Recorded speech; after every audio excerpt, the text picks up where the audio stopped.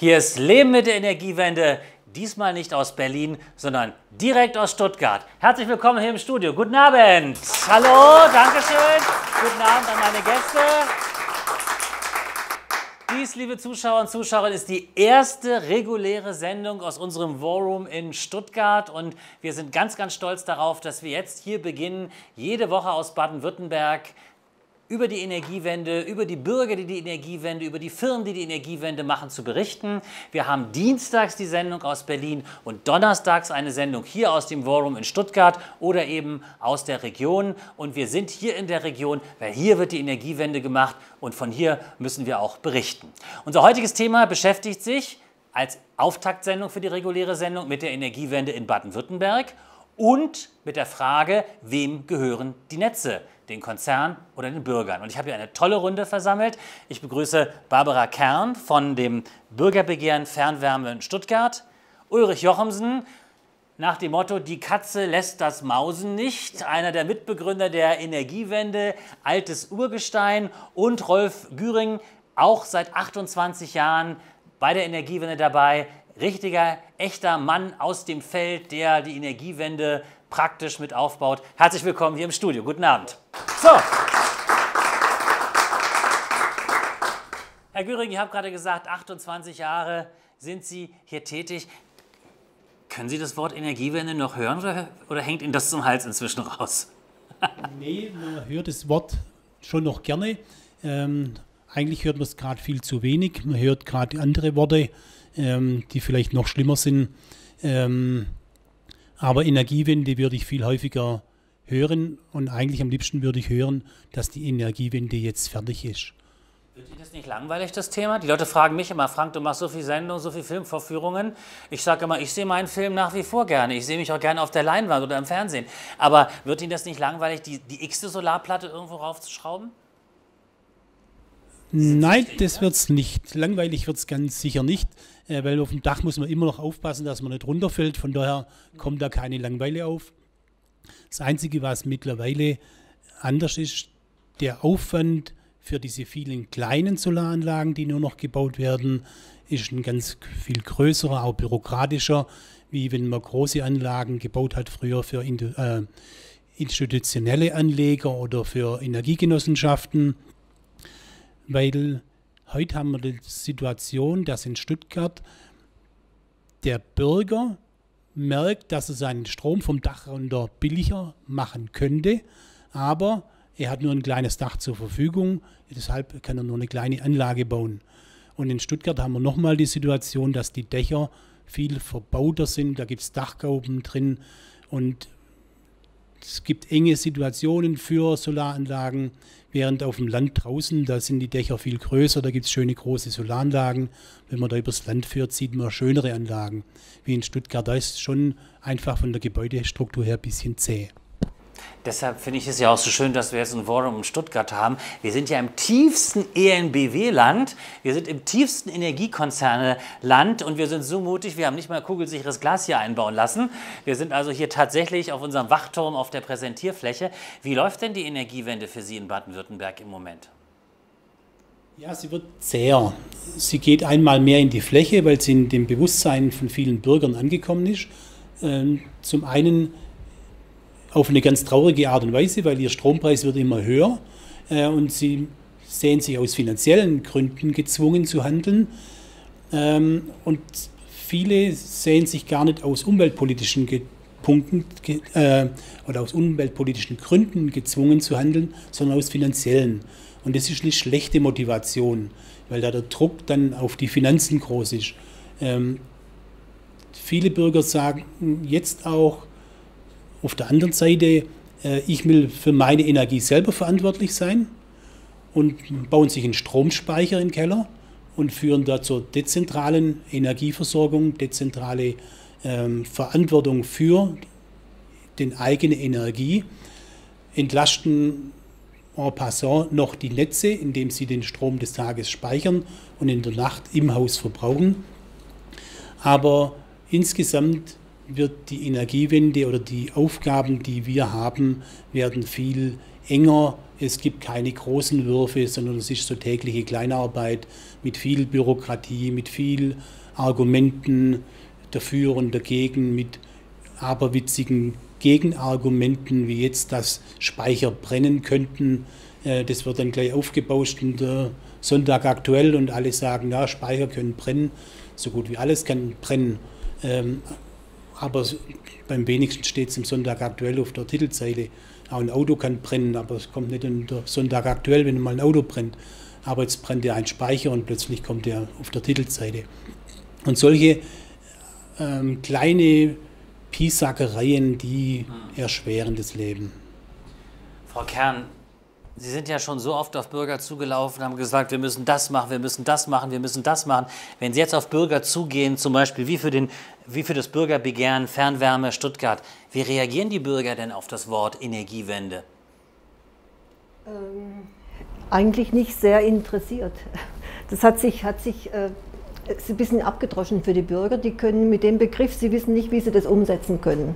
Also wir kommen auch konkret mit den Bürgerbegehrensthemen an. Also gibt es Fernwärmenetz Stuttgart zum Beispiel.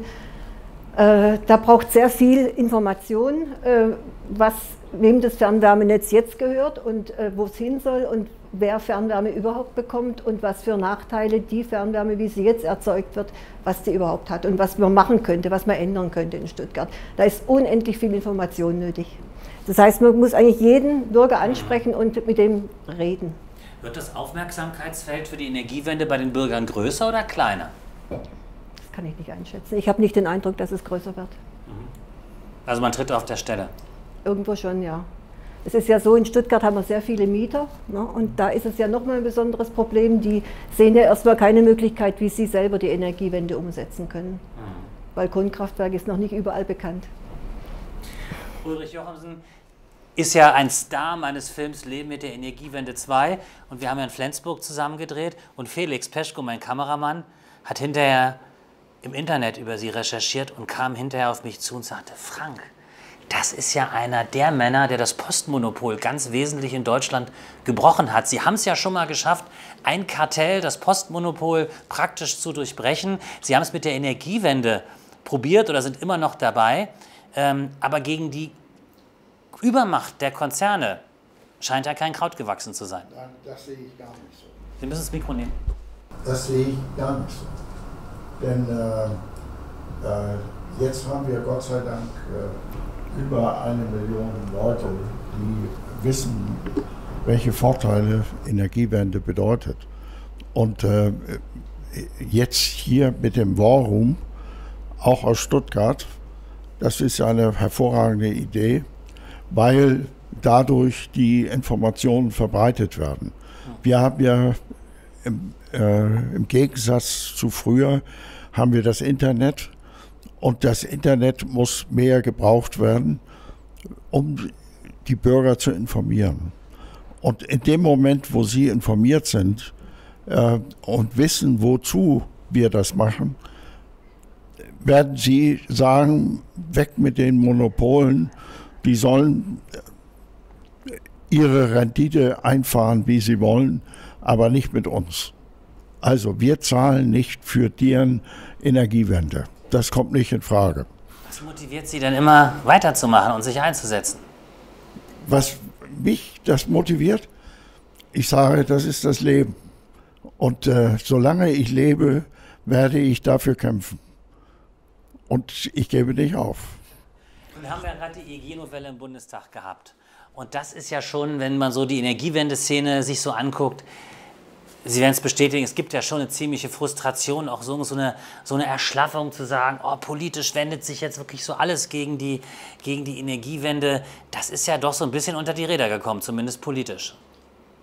Ja, aber diese, diese Inszenierung äh, der Regierung, äh, die wird, äh, wird nicht ziehen.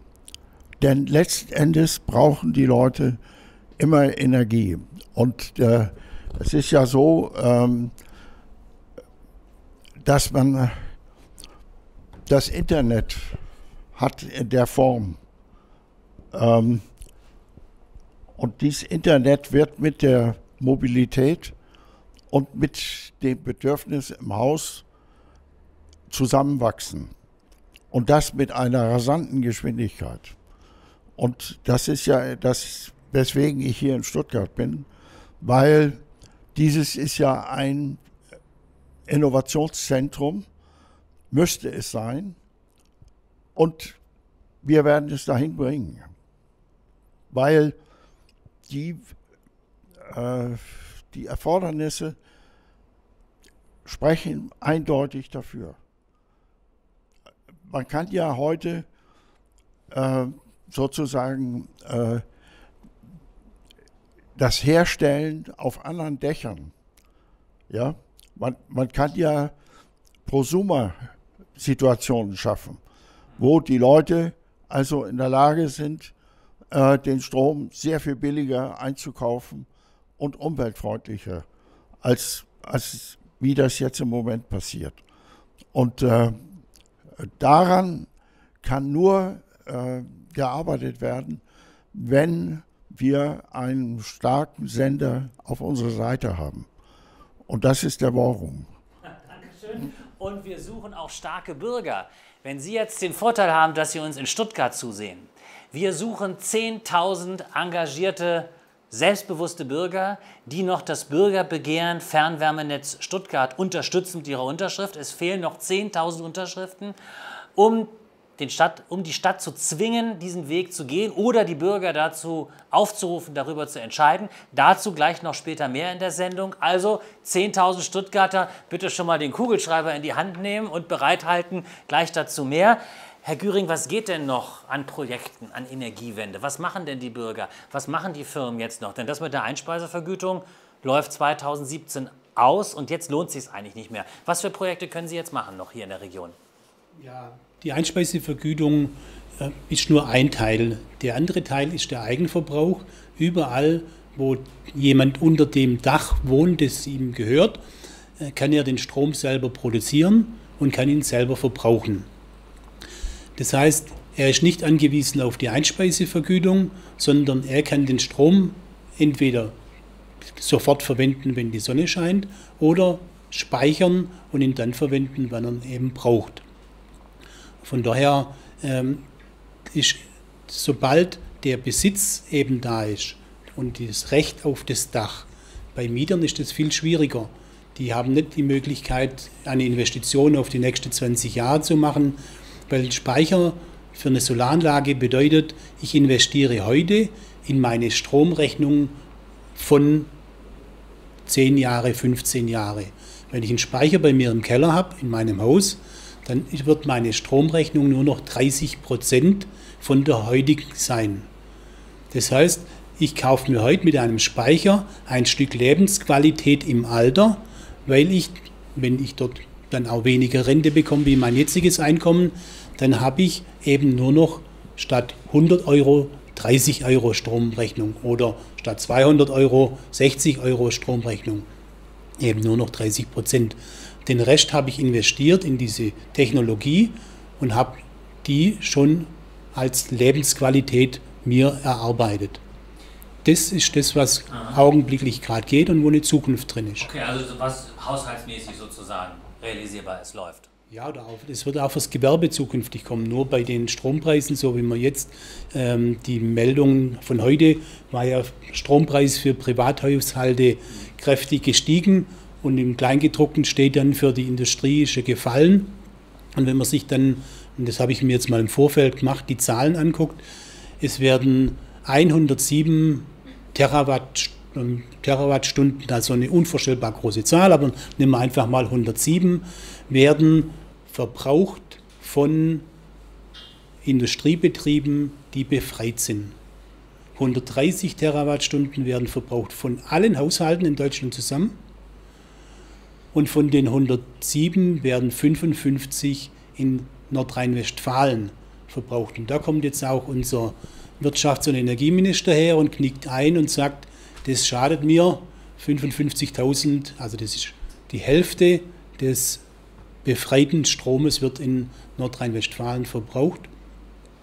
Und so sind die Machtverhältnisse und das Ergebnis ist, der Haushaltskunde zahlt überproportional viel Er bekommt jetzt die Meldung, es wird ein bisschen weniger, weil wir haben uns verrechnet. Äh, jeder wusste, dass sich die absichtlich verrechnet haben, weil die erneuerbare Energienumlage ist stärker gestiegen, wie sie eigentlich hätte steigen müssen, sodass klar war, irgendwann wird sie wieder fallen, damit die Leute wieder beruhigt sind. Aber sie ist einfach deshalb überhaupt so hoch, weil genau die gleiche Menge Strom oder fast genau die gleiche Menge Strom befreit ist von der, äh, von der erneuerbaren Energienumlage, wie überhaupt in Haushalten verbraucht wird. Da kann man sich diese Dimension einfach mal vorstellen, wie da der Haushaltskunde abgezockt wird. Wir haben ja ein großes Solateursterben, wir haben das Sterben der Industrie gehabt. Und was noch viel schlimmer ist, Module können wir notfalls aus China importieren, tun wir ja schon jetzt. Aber jetzt sterben die Dienstleister, jetzt sterben die Solateure. Äh, und durch diese EEG-Novellierung wird das nicht besser. Was können Sie denn konkret jetzt im Moment verkaufen und für Projekte machen? Was geht dann im Markt? Ja, wir haben jetzt zum Beispiel auch immer darauf gesetzt, deutsche Solarmodule einzusetzen und keine chinesische, weil als ich angefangen habe, dachte ich, also schon ziemlich lang her jetzt, dachte ich, das ist eine Technologie, die können wir in Deutschland hier auch produzieren, weil Silizium ist Sand und Sand gibt es genügend. Ähm, von daher können wir das in Deutschland herstellen. Öl haben wir in Deutschland keins oder ganz wenig. Und wenn, dann sollten wir es nicht gerade mit Fracking aus dem Boden holen. Aber Sand hätte es genügend und das wäre eine Technologie, die wir später mal ins Ausland und in die Welt liefern können. Und die Wirtschaftspolitik dann diese jetzt alle zugrunde gehen zu lassen, das ist einfach nicht besonders geistreich von unserer Regierung. Kohle zu fördern anstatt Solarenergie, ähm, ganz traurig. Wie viel teurer sind denn deutsche Module als chinesische, wenn Sie die verkaufen? Ja, so 15, 20 Prozent ungefähr. 20 Das bei einer Anlage für einen Häuslebauer sind dann 600, 700 Euro höchstens. So ja. Okay. Können Sie an die Wirtschaft was verkaufen, an Betriebe oder läuft das nur noch über die kleine Schiene, kleine Verbraucher? ganz selten an Wirtschaft äh, oder ein kleineres Gewerbe. Äh, große machen es eigentlich nur noch aus Prestigegründe, finanziell ganz wenig. Können Sie Speicher verkaufen oder fängt das jetzt erst an? Speicher haben wir schon einige verkauft, fängt natürlich jetzt auch erst an, aber ich sehe da große Zukunft drin, weil eben jeder Einzelne seine Energiewende weniger jetzt indem dass er eine besonders gute Investition gemacht hat, in finanzielle Investition, sondern dass er ein Stück weit für sich was dazu beiträgt zu seiner Lebensqualität in der Rente und zum anderen, dass er was handelt als umweltpolitisches Handeln. Herr Jochamsen, in einer Weise kommt die EEG-Novelle eigentlich Ihnen entgegen? Sie sagen ja immer, die Bürger müssen die Energiewende selber machen. Früher war es so, man hat eingespeist, hat irgendeine Rendite dafür kassiert, aber jetzt steht die Energiewende eigentlich für die Bürger direkt vor der Tür, weil jetzt muss man den Strom sozusagen selber verbrauchen, selber speichern. Das hat ja überhaupt erstmal Erotik für die Bürger, denn einfach so ins Netz einspeisen, das macht ja gar keinen Spaß. Wenn man selber den Strom sammelt, verbraucht, speichert, das kriegt langsam pornografische Qualität. Äh, und insofern müsste das ganz in Ihrem Sinne sein. Also ich ähm, habe mich daran gewöhnt, dass die Politik immer sozusagen zickzack fährt und ähm, äh, das eigentliche Problem, das hinter der ähm, Machenschaften der Regierung mit, der, mit den vier großen Konzernen äh, steht, äh, das ist ja im Grunde genommen nicht gelöst. Hier geht es ja darum, dass äh, zentral gegen dezentral jetzt in der Runde äh, also Punktsiege davonträgt. Das kommt jetzt darauf an, äh, diese Dezentralität ähm, das nach vorne zu bringen. Also alles, was dezentral ist, ist hier etwas, was wir dringend machen müssen. Und da müssen wir auf Innovation setzen. Wir, wir können nicht äh, so weitermachen wie bisher. Und äh, äh, dazu denke ich, dass wir vielleicht noch etwas später in der Sendung dazukommen, was das ist. Also meine Freundin und ich, wir haben gerade mit Speichern zu Hause rumexperimentiert als Mieter. Äh, Modul auf dem Balkon, Speicher reingerollt äh, zu Hause ins Wohnzimmer und bis auf die Großgeräte haben wir alles betreiben können damit. Also Lampen, Computer, Handy, alles aus einer Box raus. Und das hat unheimlich viel Spaß gemacht. Und dann versucht man auch ähm, mit dem Strom irgendwie auszukommen und sagt, ich muss alles aus dem Netz kommen. Und das ist, glaube ich, der Aspekt an der ganzen Geschichte. Jetzt, wo man nicht sagt, ab ins Netz, sondern ich sammle meinen Strom selber, ich verbrauche den selber, damit auszukommen, das macht eigentlich richtig Spaß. Spaß, Sachen nicht zu verbrauchen, sondern Spaß macht es, mit Sachen auch auszukommen. Ja, das ist das, was ich meine, dass der ein Stück Lebensqualität auch dabei entsteht. Mhm. Ähm, der Spaß lässt noch mal weiter nach. Also irgendwann mal die erste Solaranlagen. Meinen haben, Teufel nicht an die Wand. Doch, also wenn man dann so die ersten Jahre eine Photovoltaikanlage auf dem Dach hat, dann, die, ich kenne das von meinen Kunden, am Anfang gehen sie jeden Tag in den Keller, lesen den Zähler ab, wie viel erzeugt wurde ist. Das irgendwann mal das ist ja das Schöne, wenn man einmal im Monat. Im hat. Man macht die so. Kiste auf und guckt statt im Fernsehen in den Speicher rein die ganze Zeit ja. und freut sich, wie viel Strom dran ist, was man verbrauchen kann und so weiter. Aber ja? auch das lässt nach, das kann ich Ihnen versprechen. Das ist ja doof. Ja. Die Sendung macht jetzt gar keinen Spaß mehr. Sie müssen mir noch mehr Spaß versprechen. Aber Liebe Zuschauer, vergessen Sie das, der Göring hat völlig Unrecht. Man wird süchtig. Zählen Sie weiter. Ja, was man aber auch bekommt, ist, ähm, man bekommt durch diese Dezentralisierung Feinde. Denn wir haben jetzt 25 Prozent des Stromes kommt aus erneuerbaren Energien und der gehört eben nicht unseren großen Stromversorgern, also diese Quellen, sondern die besitzen nur 5% der Stromquellen für die erneuerbaren Energien. Das heißt, 95% sind andere Aktivisten, die erneuerbare Energien produzieren und nicht die vier großen. Und deshalb haben die gemerkt, ihr Geschäftsfeld schwimmt ihnen davon und deshalb positionieren die sich jetzt heute anders. Und werden zu einem erbitterten Gegner werden. Ja, also ich kann. Herr Jochum, Sie wollten was sagen? Ja, also äh, das hat sich ja schon sehr früh angekündigt. Hm. Denn äh, 2010, äh, äh, Jahreswende 2010, wurde ja dieser skandalöse Tarif geändert.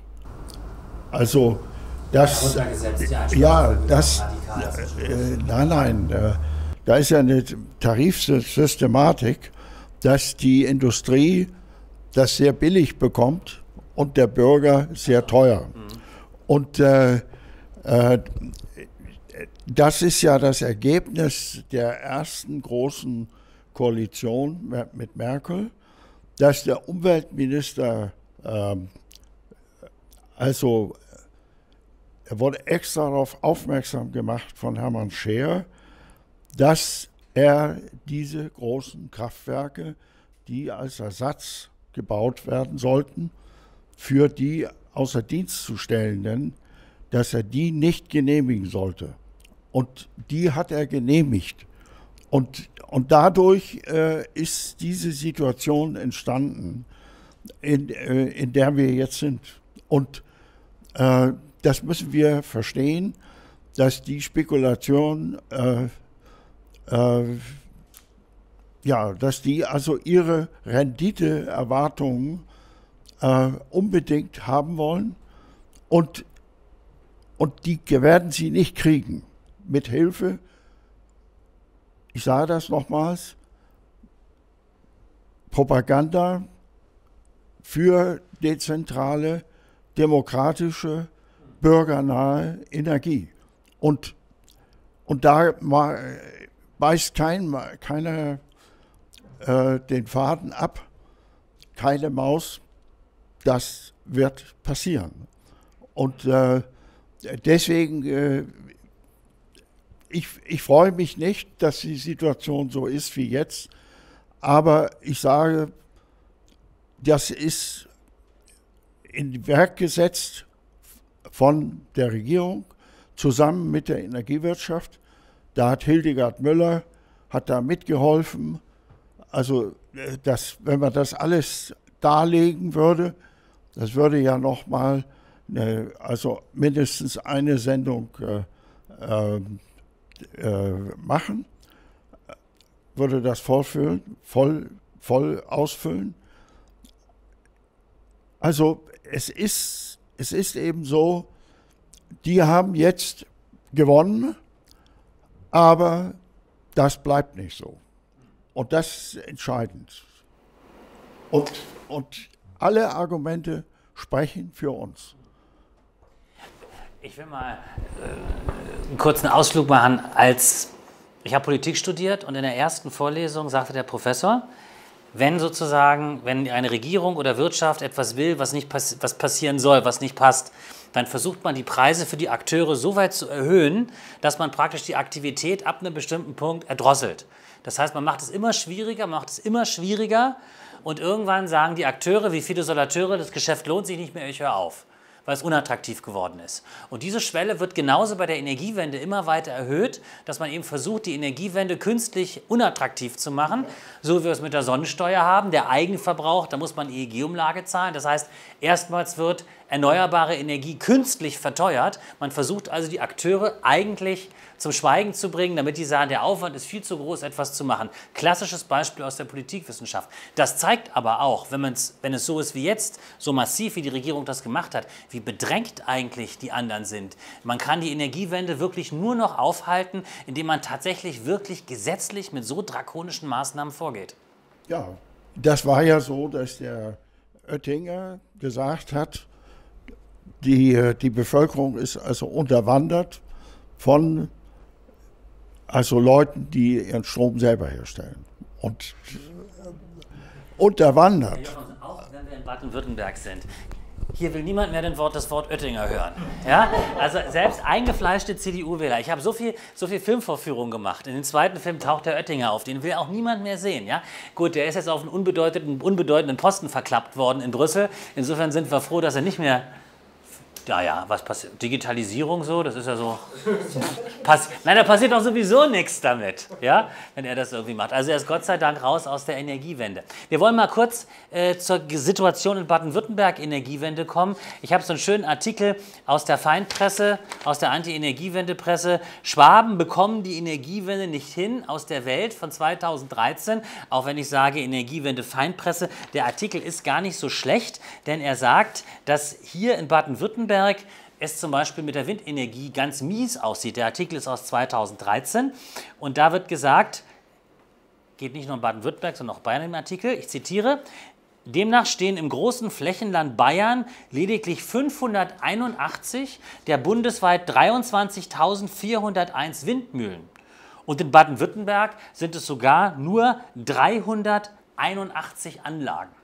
Also von über 20.000 Windrädern nur 381 Anlagen, das ist echt eine Minusleistung. Und er schreibt auch über den Ausbauerfolg der Autor der Welt. Er sagt, dass Baden-Württemberg hat die rote Laterne. Neu gebaute Windkraftanlagen in, den erst, in der ersten Jahreshälfte 2013 null. So, nun sagt man ja, die Baden-Württemberger sind ja immer voraus und innovativ und so weiter. Frau Kern, wie ist es denn für Sie, wenn Sie auf die Politik zugehen und sagen, wir wollen in Energiewende etwas machen? Was kriegen Sie denn für Reaktionen? Ja, das ist ja gerade das Schwierige, äh, dass die immer sagen, sie wollen das auch machen.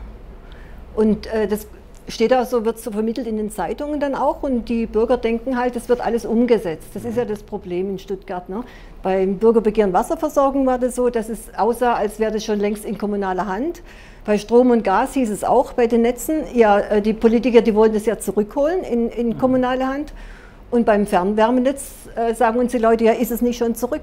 Weil da immer den Eindruck, der Eindruck vermittelt wird, dass alles gut läuft und dass die das eigentlich auch so wollen. Mhm. Ja, so ist es. Und dann passiert nichts. Ja, dann werden die Bürger nicht aktiv. Mhm. Sie haben ja versucht, hier das Stromnetz in Stuttgart wieder in Bürgerhand zu bekommen. Mhm. Wie ist das denn dann gelaufen? Ähm, wir hatten, wir hatten also erstmal das Wassernetz, das hat geklappt mit dem Bürgerbegehren und wurde angenommen beim Strom- und Gasnetz. Ähm, hatten wir auch die entsprechende Unterschriftenzahl beieinander. Äh, das wurde vom Gemeinderat abgelehnt als rechtlich unzulässig mit der Begründung, man müsse Strom- und Gasnetz europaweit ausschreiben. Und äh, es ist seit 2010 ist es so, ähm, vor 2010 war es noch so, dass die Kommunen äh, dieses Inhouse-Verfahren durchziehen konnten bei Strom- und Gasnetzen. Das heißt, wenn die äh, die Strom- und die Gasversorgung, die Konzession auf einen eigenen Betrieb, 100% kommunalen Betrieb übertragen wollten, dann ähm, konnten sie das einfach mit dem Gemeinderatsbeschluss durchführen. Und da wurde dann immer mehr Druck gemacht über die Kartellämter. Da kam das äh, Leitfaden vom Bundeskartellamt raus und es wurde immer mehr gesagt, die Kommunen müssen in jedem Fall ausschreiben. Und wir haben auf dem Standpunkt, und das war ja so, das war die Zeit, als die Rekommunalisierungswelle begann, als die Stromnetze äh, die Konzessionen ausliefen und die äh, Kommunen, viele Kommunen wollten ja die Netze zurückholen. Also es war eine politische Geschichte unseres Erachtens. Und diese, diese Meinung war auch in Stuttgart angekommen, das wurde abgelehnt, das Bürgerbegehren, ähm, als rechtlich unzulässig. Wir sind dann zum Gericht. Aber in der Zwischenzeit, das läuft schon eine Weile, haben die dann im äh, März 2014 jetzt äh, die äh, ENBW wieder, ähm, die haben, die haben das, die Ausschreibung durchgeführt und im Endeffekt äh, haben sich fünf, fünf Konzerne und, ähm, beworben. Und im, äh, die ENBW wurde, es wurde ein Kooperationsunternehmen gegründet, äh, im Endeffekt mit Stadt Stuttgart, Stadtwerke Stuttgart und ENBW, ähm, wobei die ENBW im Moment wirklich das Sagen hat und immer eine Sperrminorität haben wird. Also äh, es ist so einzuschätzen, dass die Energiewende in Stuttgart äh, nur noch auf der Schiene läuft, wie Sie das gesagt haben, Herr Göring, dass man eben auf Eigenversorgung setzen kann. Also mit Hilfe der ENBW kriegen wir keine dezentralen Energiestrukturen hin. Also zum Schluss ist es dann so gelaufen, ENBW sitzt wieder mit im Boot. Ja. Die gründen das und das funktioniert und der Gemeinderat hat es entschieden. Auf welcher Grundlage, mit welchen Argumenten hat die ENBW bekommen? Ja, es ist so, die Ausschreibung ist äh, immer sehr geheim. Da äh, werden so Kataloge ausgearbeitet, Kriterien, Punkte festgelegt, für welche Antwort man welche äh, Punkte kriegt. Ähm, insgesamt ist es geheim und das ist ja auch ein äh, das ist ja gerade der Punkt, der angegriffen werden muss, weil man nicht mehr als Bürger nicht mehr kontrollieren kann, wie läuft die Entscheidung. Es geht ja um unsere Energieversorgung. Und ähm, Deswegen kann man das nicht kontrollieren. Es gibt nur eine Aussage von Hannes Rockenbauch, SOS Die Linke, der gesagt hat, dieses Verfahren ist, die Bewertung ist beliebig gelaufen. Es wurde nicht streng nach Kriterien durchbewertet. Aber ich meine, so, so, so, ein Gemeinderat müsste doch eigentlich transparent machen, wie die Entscheidung gefallen ist, oder? Nein, das ist ja gerade, das muss ja geheim sein. Warum das ist muss ja, das, das geheim ist, sein? Das äh, Ausschreibung ist geheim, das ist so festgelegt. Das muss ganz streng geheim sein. Sobald ein Privater mit ins Spiel kommt, ist immer alles geheim. Ja, es ist so. Heißt ja auch privat, ne? So, wir haben Matthias Filbinger ins Studio. Vielleicht können wir mal kurz ihm ein Mikro geben und eine, eine Lampe auf ihn richten. Herr Filbinger freut sich jetzt, dass ich ihn aus dem Publikum rausgefischt habe.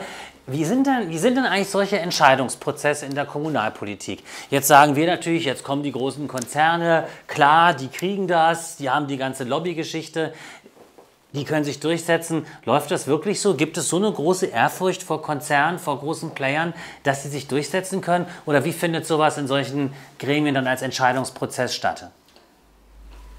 Wenn wir mal die Kommune Stuttgart anschauen, da haben wir erstmal eine Verwaltung und die Verwaltung gibt die Richtung vor. Und der Gemeinderat, der nickt gewisse Dinge dann ab. Ich habe manchmal schon gesagt, der Gemeinderat errät dann eben, wo man abstimmen soll. Etwas apostrophiert.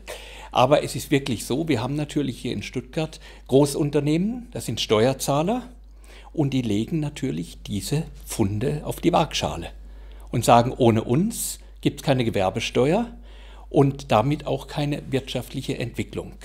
Das sind Argumente, die immer wieder zu hören sind. Aber sind denn die Gemeinderatsmitglieder so, ähm, so vorsichtig, dass die sagen, oh Gott, wir wollen nicht ENBW verärgern? Oder sagen wir mal so, sind dann so die Energiewende-Kantonisten, Frau Kern kommt mit wehenden Haaren reingerannt und sagt, wir wollen es selber machen. Und die sagen, uh, wir geben es lieber ENBW als Frau Kern oder Herrn Jochemsen oder was weiß ich alles. Geht man da lieber auf Nummer sicher? Spielt sowas eine Rolle? Schauen Sie es ja so, es sind ja auch Politiker in den Aufsichtsräten dieser Unternehmen, auch Gemeinderäte. Das heißt, die sind ganz nah an den Entscheidungen dran. Ob sie die Fachkompetenz haben, wage ich manchmal zu bezweifeln. Die sind einfach da. Und ähm, Es sind Landesunternehmen, es sind Unternehmen, die Arbeitsplätze hier sichern. Damit wird auch immer wieder letztendlich gepunktet. Und äh, es ist sehr, sehr schwer, da dagegen vorzugehen. Ja, eine ENBW, Energie Baden-Württemberg, das ist natürlich eine Marke und da will keiner so schnell dagegen gehen. Wenn Sie jetzt mit irgendwelchen Projekten, Ideen, Konzeptionen rangehen, das versuchen, in den politischen Entscheidungsablauf hineinzubringen, wie funktioniert das? Haben Sie da eine Chance oder heißt es immer so, boah, nee, uh, Energiewende wollen wir nicht richtig ran? Also ich kann aus eigener Erfahrung sagen, wir sind seit zwei Jahren an einem großen Projekt mit nachwachsenden äh, hohen C4-Gräsern für die Spezialisten und äh, haben im Umweltministerium angeklopft, im Wirtschaftsministerium, haben denen unsere Rentabilitätsrechnungen vorgelegt. Es wollte niemand verstehen. Wir müssen die Industrie nehmen, wir brauchen Zuschüsse und es gelingt jetzt so ganz langsam, aber nicht hier in Baden-Württemberg, sondern auf anderen Ebenen, vor allem im Ausland, Südamerika, dort Interesse zu wecken. Denn die Leute wissen, dass sie noch vor dieser Entwicklung stehen. Hier im Land ist es ganz, ganz schwierig. Wir haben auch Kontakte zur ENBW, äh, wurden belächelt. Ähm, wir haben es da sehr, sehr schwer. Und wenn ein Privatmann kommt mit einer Idee, äh, dann war die Idee entweder schon mal da so wie bei uns. Da hat man im Land gesagt, das haben wir schon vor zehn Jahren gemacht, schon geprüft, aber damals hat man eben nicht gerechnet, sondern man hat einfach nur gesagt, okay, die Verfahren, die funktionieren nicht. Aber je teurer die Energien werden, umso interessanter werden dann auch die Alternativen. Und so wie man Tiefseebohrungen mittlerweile finanzieren kann, weil der Sprit immer teurer wird, so wird es natürlich auch interessant, wie bisher unrentable Verfahren zur Energiegewinnung aus nachwachsenden Rohstoffen oder aus Wind und Sonne zu finanzieren. Ich habe noch eine These. Es gibt viele Argumente, wie Sie sagen, Ihre C4-Gräser. Ich habe jetzt von C4-Gräsern auch noch nichts gehört. Müssen Sie auch. Ich habe auch noch nie was von C2-Gräsern gehört, aber ist jetzt egal. Also, da wird gesagt, naja, das ist schwierig und das, wie Sie sagen, ist vielleicht zu teuer. Also es werden so einzelne Gegenargumente gebracht. Aber eigentlich steckt ja so der Geist dahinter, dass man eigentlich das gar nicht machen, die Energiewende gar nicht machen will, dass dieser Systemwechsel gar nicht stattfinden soll, sondern dass es eigentlich darum geht, das, was jetzt ist, fortzusetzen. Das ist immer so mein Eindruck. Das ist natürlich in den Köpfen der Leute drin. Und nehmen wir ein anderes Beispiel. Erst unsere Kinder jetzt haben das Thema Mülltrennung, also umweltbewusstes Verhalten, von klein auf gelernt, bei denen sind es Automatismen. Bei uns 50, 60-Jährigen, da sieht die Welt noch anders aus. Man ist reingewachsen in die alten Systeme und ein Wechsel ist immer schwierig, auch den umzudenken und umzusetzen. Also es wird Generationen dauern, bis das soweit ist. Und es muss wehtun. Es muss immer wehtun, es muss an den Geldbeutel gehen, denn nur darüber ist der Mensch, ich möchte mal so sagen, erziehbar. Eine Frage habe ich noch an Sie. Der SPD-Fraktionsvorsitzende Schmiedel hat einen Brief geschrieben, dass sich Baden-Württemberg, die Landesregierung sich lächerlich macht, weil man hier keine Windräder aufstellt. Nun sind die Grünen, stellen den Ministerpräsidenten. Ich könnte, hätte eigentlich gedacht, mit den Grünen als Ministerpräsidenten hier, die die Regierung stellen, geht es jetzt mit der Energiewende in Baden-Württemberg so richtig ab. Scheint aber nicht so zu sein. Die Pläne sind ja schon lange da gewesen. Jetzt ist es langsam erlaubt. Nur haben wir ein Problem. Wenn wir heute 100 Windräder aufstellen wollen, brauchen wir dafür Flächen. Wir müssen den einen oder anderen Baum fällen. Damit wird das ein oder andere Vogelnest unter Umständen nicht mehr da sein. Dann haben wir natürlich auch die Privatleute, die die Trassenführung nicht wollen. Das heißt also, die privaten Interessen und die Interessen von gewissen Gruppen, der Bund und wer weiß was alles, der steht da natürlich im Wege. Und hier ist es die Aufgabe aller, sich daran zu beteiligen, auch einen Kompromiss zu finden, um den Weg freizumachen. Herr Schmiedel schreibt in seinem Brief, Baden-Württemberg stellt jetzt weniger Windräder auf als zur CDU-Zeit. Ähm, Wachstum ist natürlich etwas Relatives. Wenn ich von 10 auf 20 Windräder erhöhe, habe ich 100% Steigerung. Aber ich von, wenn ich von 300 auf 360 erhöhe, habe ich eben nur noch 20%. Gut, alles klar. Vielen Dank erstmal, Bitte schön. Herr Filbinger. So, Sie sehen, so kalt habe ich Sie gar nicht, gar nicht erwischt. Herr Güring, eine Frage an Sie gleich dazu. Wenn Sie losstiefeln, wollen Projekte auf die Beine stellen, welche Widerstände erleben Sie? Ich wollte zuerst noch einen anderen Gedanken loswerden ähm, zum Thema von ihm. Weil eines, was all diese Widerstände und alles ad absurdum führt, das habe ich in der Schule gelernt, das war der zweite Hauptsatz der Thermodynamik, der wurde noch nicht widerlegt. Und da ist einfach drin, dass dieses Energiesystem Erde, Weltraum und unsere Erde, so wie wir jetzt hier drauf leben, ähm, wenn all die Energie, die über Jahrhunderte oder Jahrmillionen Jahre, nicht Jahrhunderte, über Jahrmillionen Jahre zu fossilen Energieformen wurde, wenn die wieder in der Atmosphäre sind, dann ist die Erde auch wieder in dem Zustand wie vor Jahrmillionen Jahren. Das ist die strengste Ableitung vom zweiten Hauptsatz der Thermodynamik. Und vor Jahrmillionen Jahren war die Erde für den Menschen nicht bewohnbar. Das heißt, wenn wir mit der erneuerbaren Energie nicht vorwärts kommen und alle fossile Energien mit Fracking und allen raffinierten Methoden aus der Erde rausholen, dann zerstören wir die Atmosphäre so, dass sie für uns nicht mehr lebensfähig ist. Und daher sind wir eigentlich einfach gezwungen, diese Energiewende zu gewinnen, oder es wird keinen Sieger geben. Der einzige Sieger, der nachher überleben wird, das werden wir sein oder unsere Enkel, die die Energiewende machen. Von daher bin ich da ganz zuversichtlich, dass der War von ihnen gewonnen wird. Man muss das, das ist immer eine Frage, wie man sowas verkauft und darstellt. Ja? Sie haben gesagt, ja, wenn das alles verbrannt wird, dann äh, gibt es keine Menschen mehr auf dem Planeten. Das muss man heute anders umsetzen. Man muss sagen, liebe ENBW, wenn ihr alles verbrannt habt, habt ihr keine Kunden mehr. Die sind nämlich alle tot und dann sinkt die Rendite bei euch und der Aktienkurs geht nach unten. Wahrscheinlich muss man irgendwie so argumentieren. Und es ist eigentlich nicht mehr möglich, außerhalb der Rendite heute zu argumentieren. Selbst bei der Energiewende war es immer so zu sagen, mach es, weil dann wird es billiger, hast du drei oder fünf Prozent. Der Hauptgrund, die Energiezuwende zu machen, nämlich die ökologischen Argumente, die haben ja bislang überhaupt gar keine Rolle gespielt. Es ging immer nur um Ökonomie. Ja, wobei ich denke, dass auch mittlerweile immer mehr den Zusammenhang zwischen Energiewende und Umweltschäden merken. Wenn einfach die Gletscher abschmelzen ähm, an den Polkappen oder das Eis an den Polkappen abschmilzt und dann einfach der Meeresspiegel 70 Zentimeter steigt, also wenn das Eis ähm, von Grönland weggeschmolzen ist oder wenn die Antarktis dann weg ist, dann sind es sieben Meter. Dann können sie in Berlin Boot fahren und zwar direkt auf die Nordsee, weil da so weit steht ins Wasser. Und kurz vorher wird man wahrscheinlich schon merken, dass man ganz dringend wenden muss. Übrigens, in dem Zusammenhang möchte ich nochmal den Film Eine unbequeme Wahrheit von Al Gore empfehlen.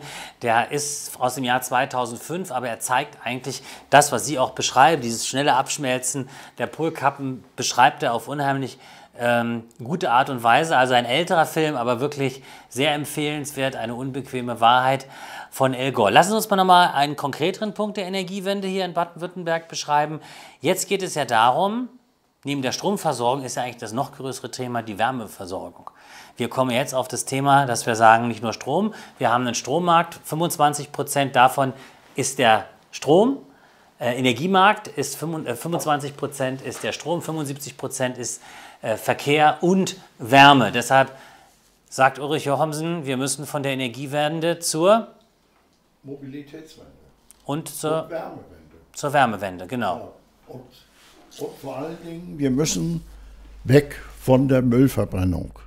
Stuttgart ist die Hauptstadt der Müllverbrennung. Das muss man also nochmal wiederholen. Stuttgart. Stuttgart, Hauptstadt der ja, Müllverbrennung. Ja. Und, und das bedeutet, die Bevölkerung wird nach und nach vergiftet.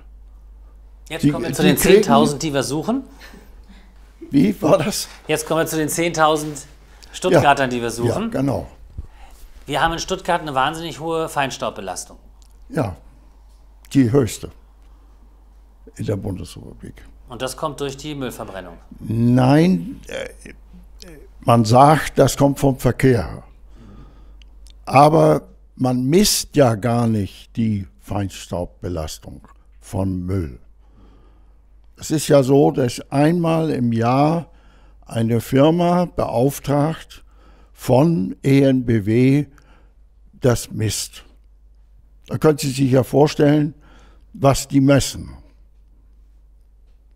Alles in Ordnung. Ja, immer Stuttgart. prima, prima. So, Ja, die hören genau dann auf zu messen, wenn die Werte zunehmen.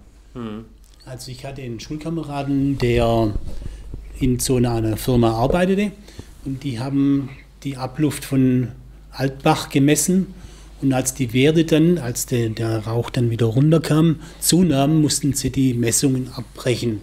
So die direkt unterm Kamin ist ja kein Müll, sondern den bläst es ja weiter.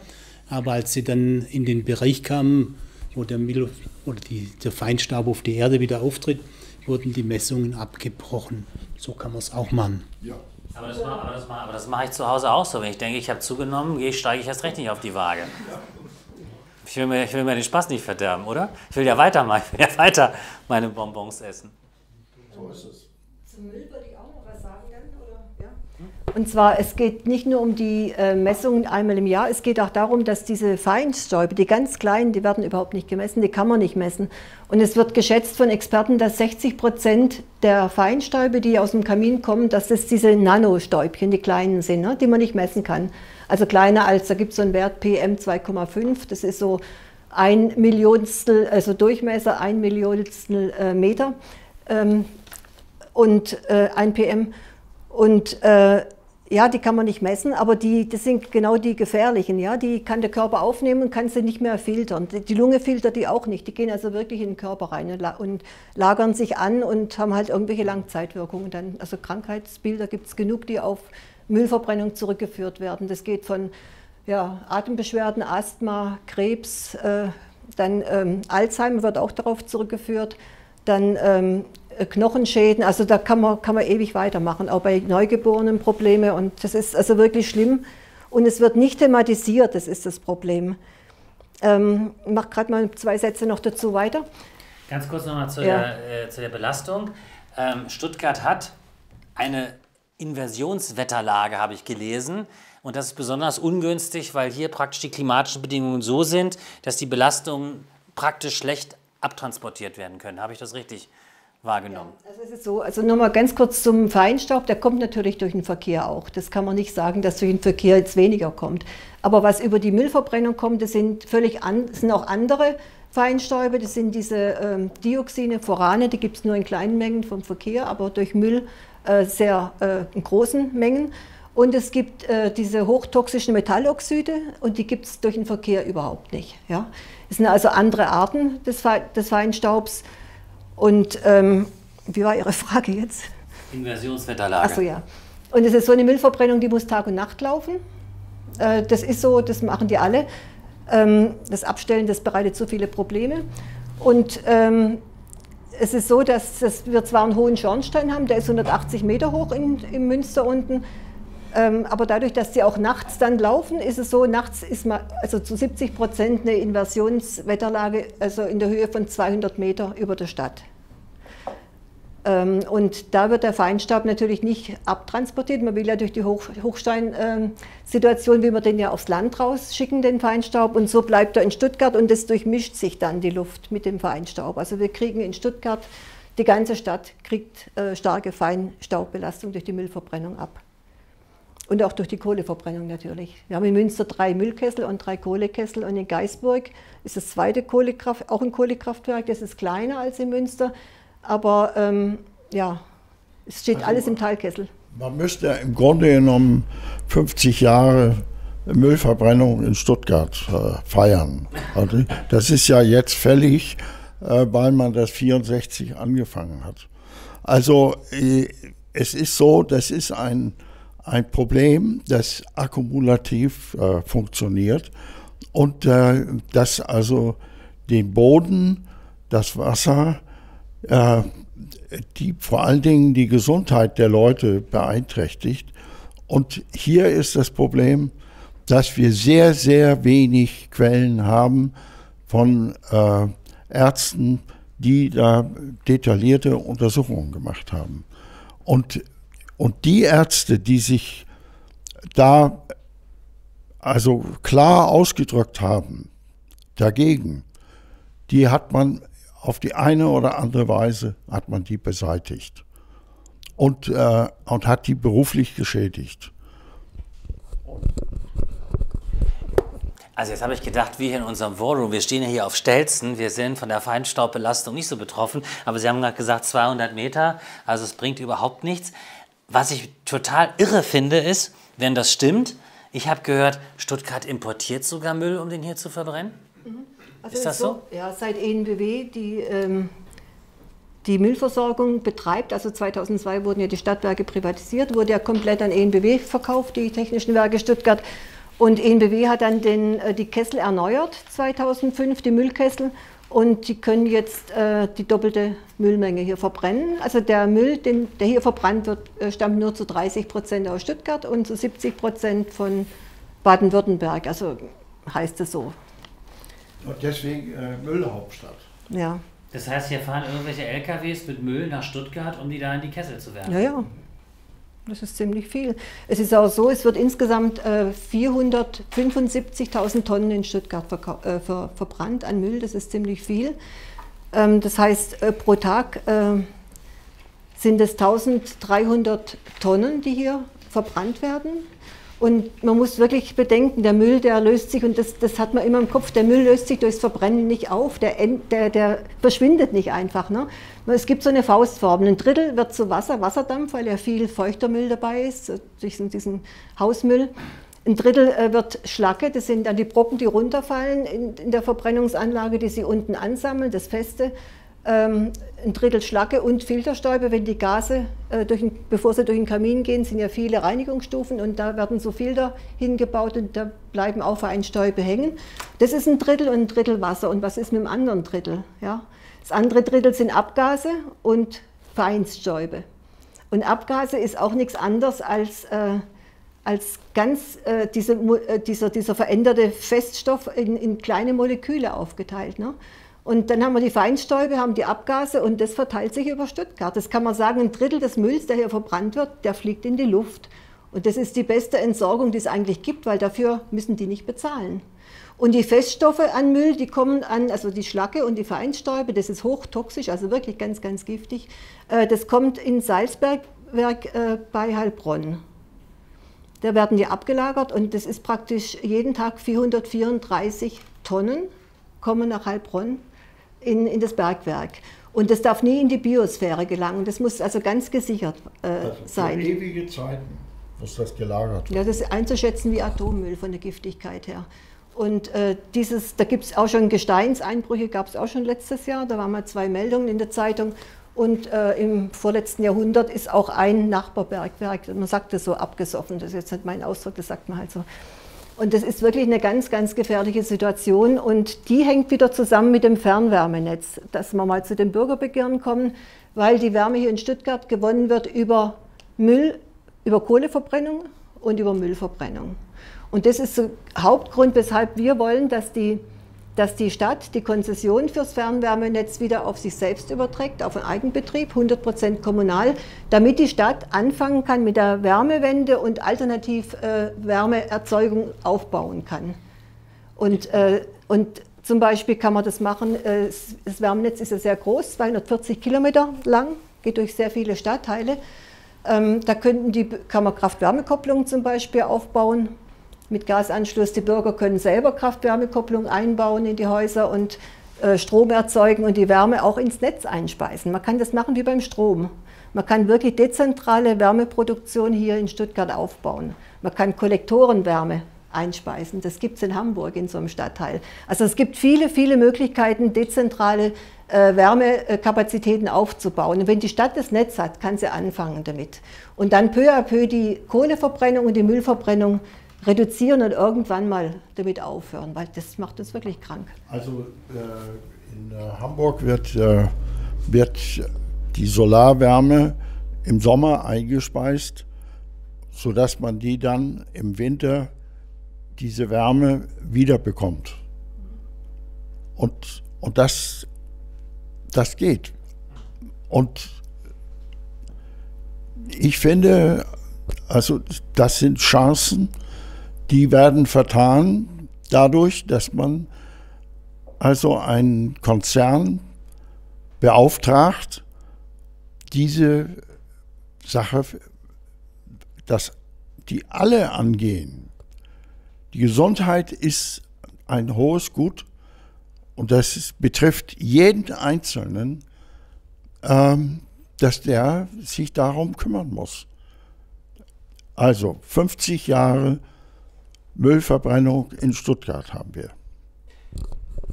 Nochmal zur Erläuterung. Das Stromnetz ist ja ausgeschrieben. Das ist jetzt, das Verfahren ist vorbei. Es muss auch das Fernwärmenetz muss auch ausgeschrieben werden. Das findet jetzt auch gerade statt. Und das ist Ihr Ansatzpunkt als Bürgerbegehren. Und das sind die 10.000 wachen Stuttgarter, selbstbewussten Stuttgarter, die wir brauchen, noch für Unterschriften. Sie haben viele Unterschriften schon gesammelt. 10.000 Unterschriften fehlen noch. Herr Jochums hat es angekündigt.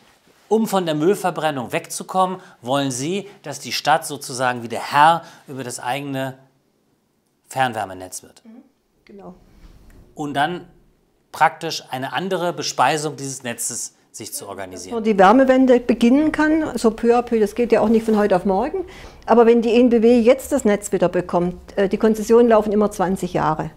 Da wird sich nichts tun in Stuttgart, da wird sich nichts ändern, weil die mhm. mit Sicherheit nicht was abtreten wollen und mit Sicherheit nicht äh, neu investieren.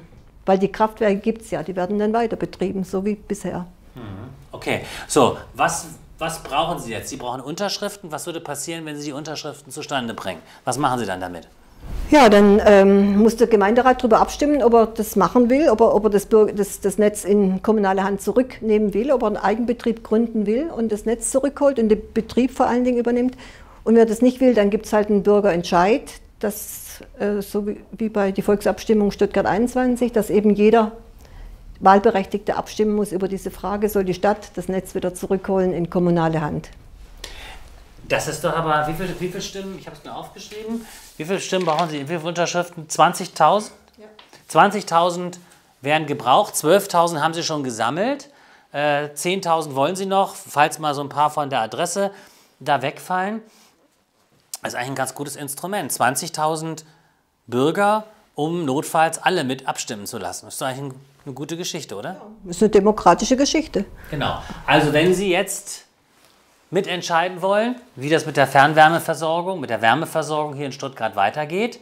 Wir blenden jetzt die Internetadresse der Initiative ein. Dort können Sie sich Informationen holen und es gibt auch verschiedene Termine. Sie müssen direkt persönlich selber unterschreiben, das geht nicht per Internet, aber wir werden auch noch Aktionen durchführen. Wir werden auf der Straße sein an einem Samstag. Auch diese Adresse, wann und wo wir sind, wird jetzt eingeblendet.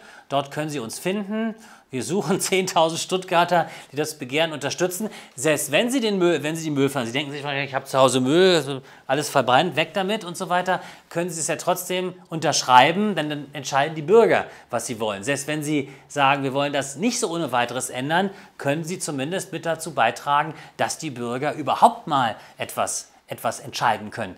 Herr Güring, wie ist es denn aus der technischen Sicht? Ist sowas denkbar, so ein Netz aufzubauen?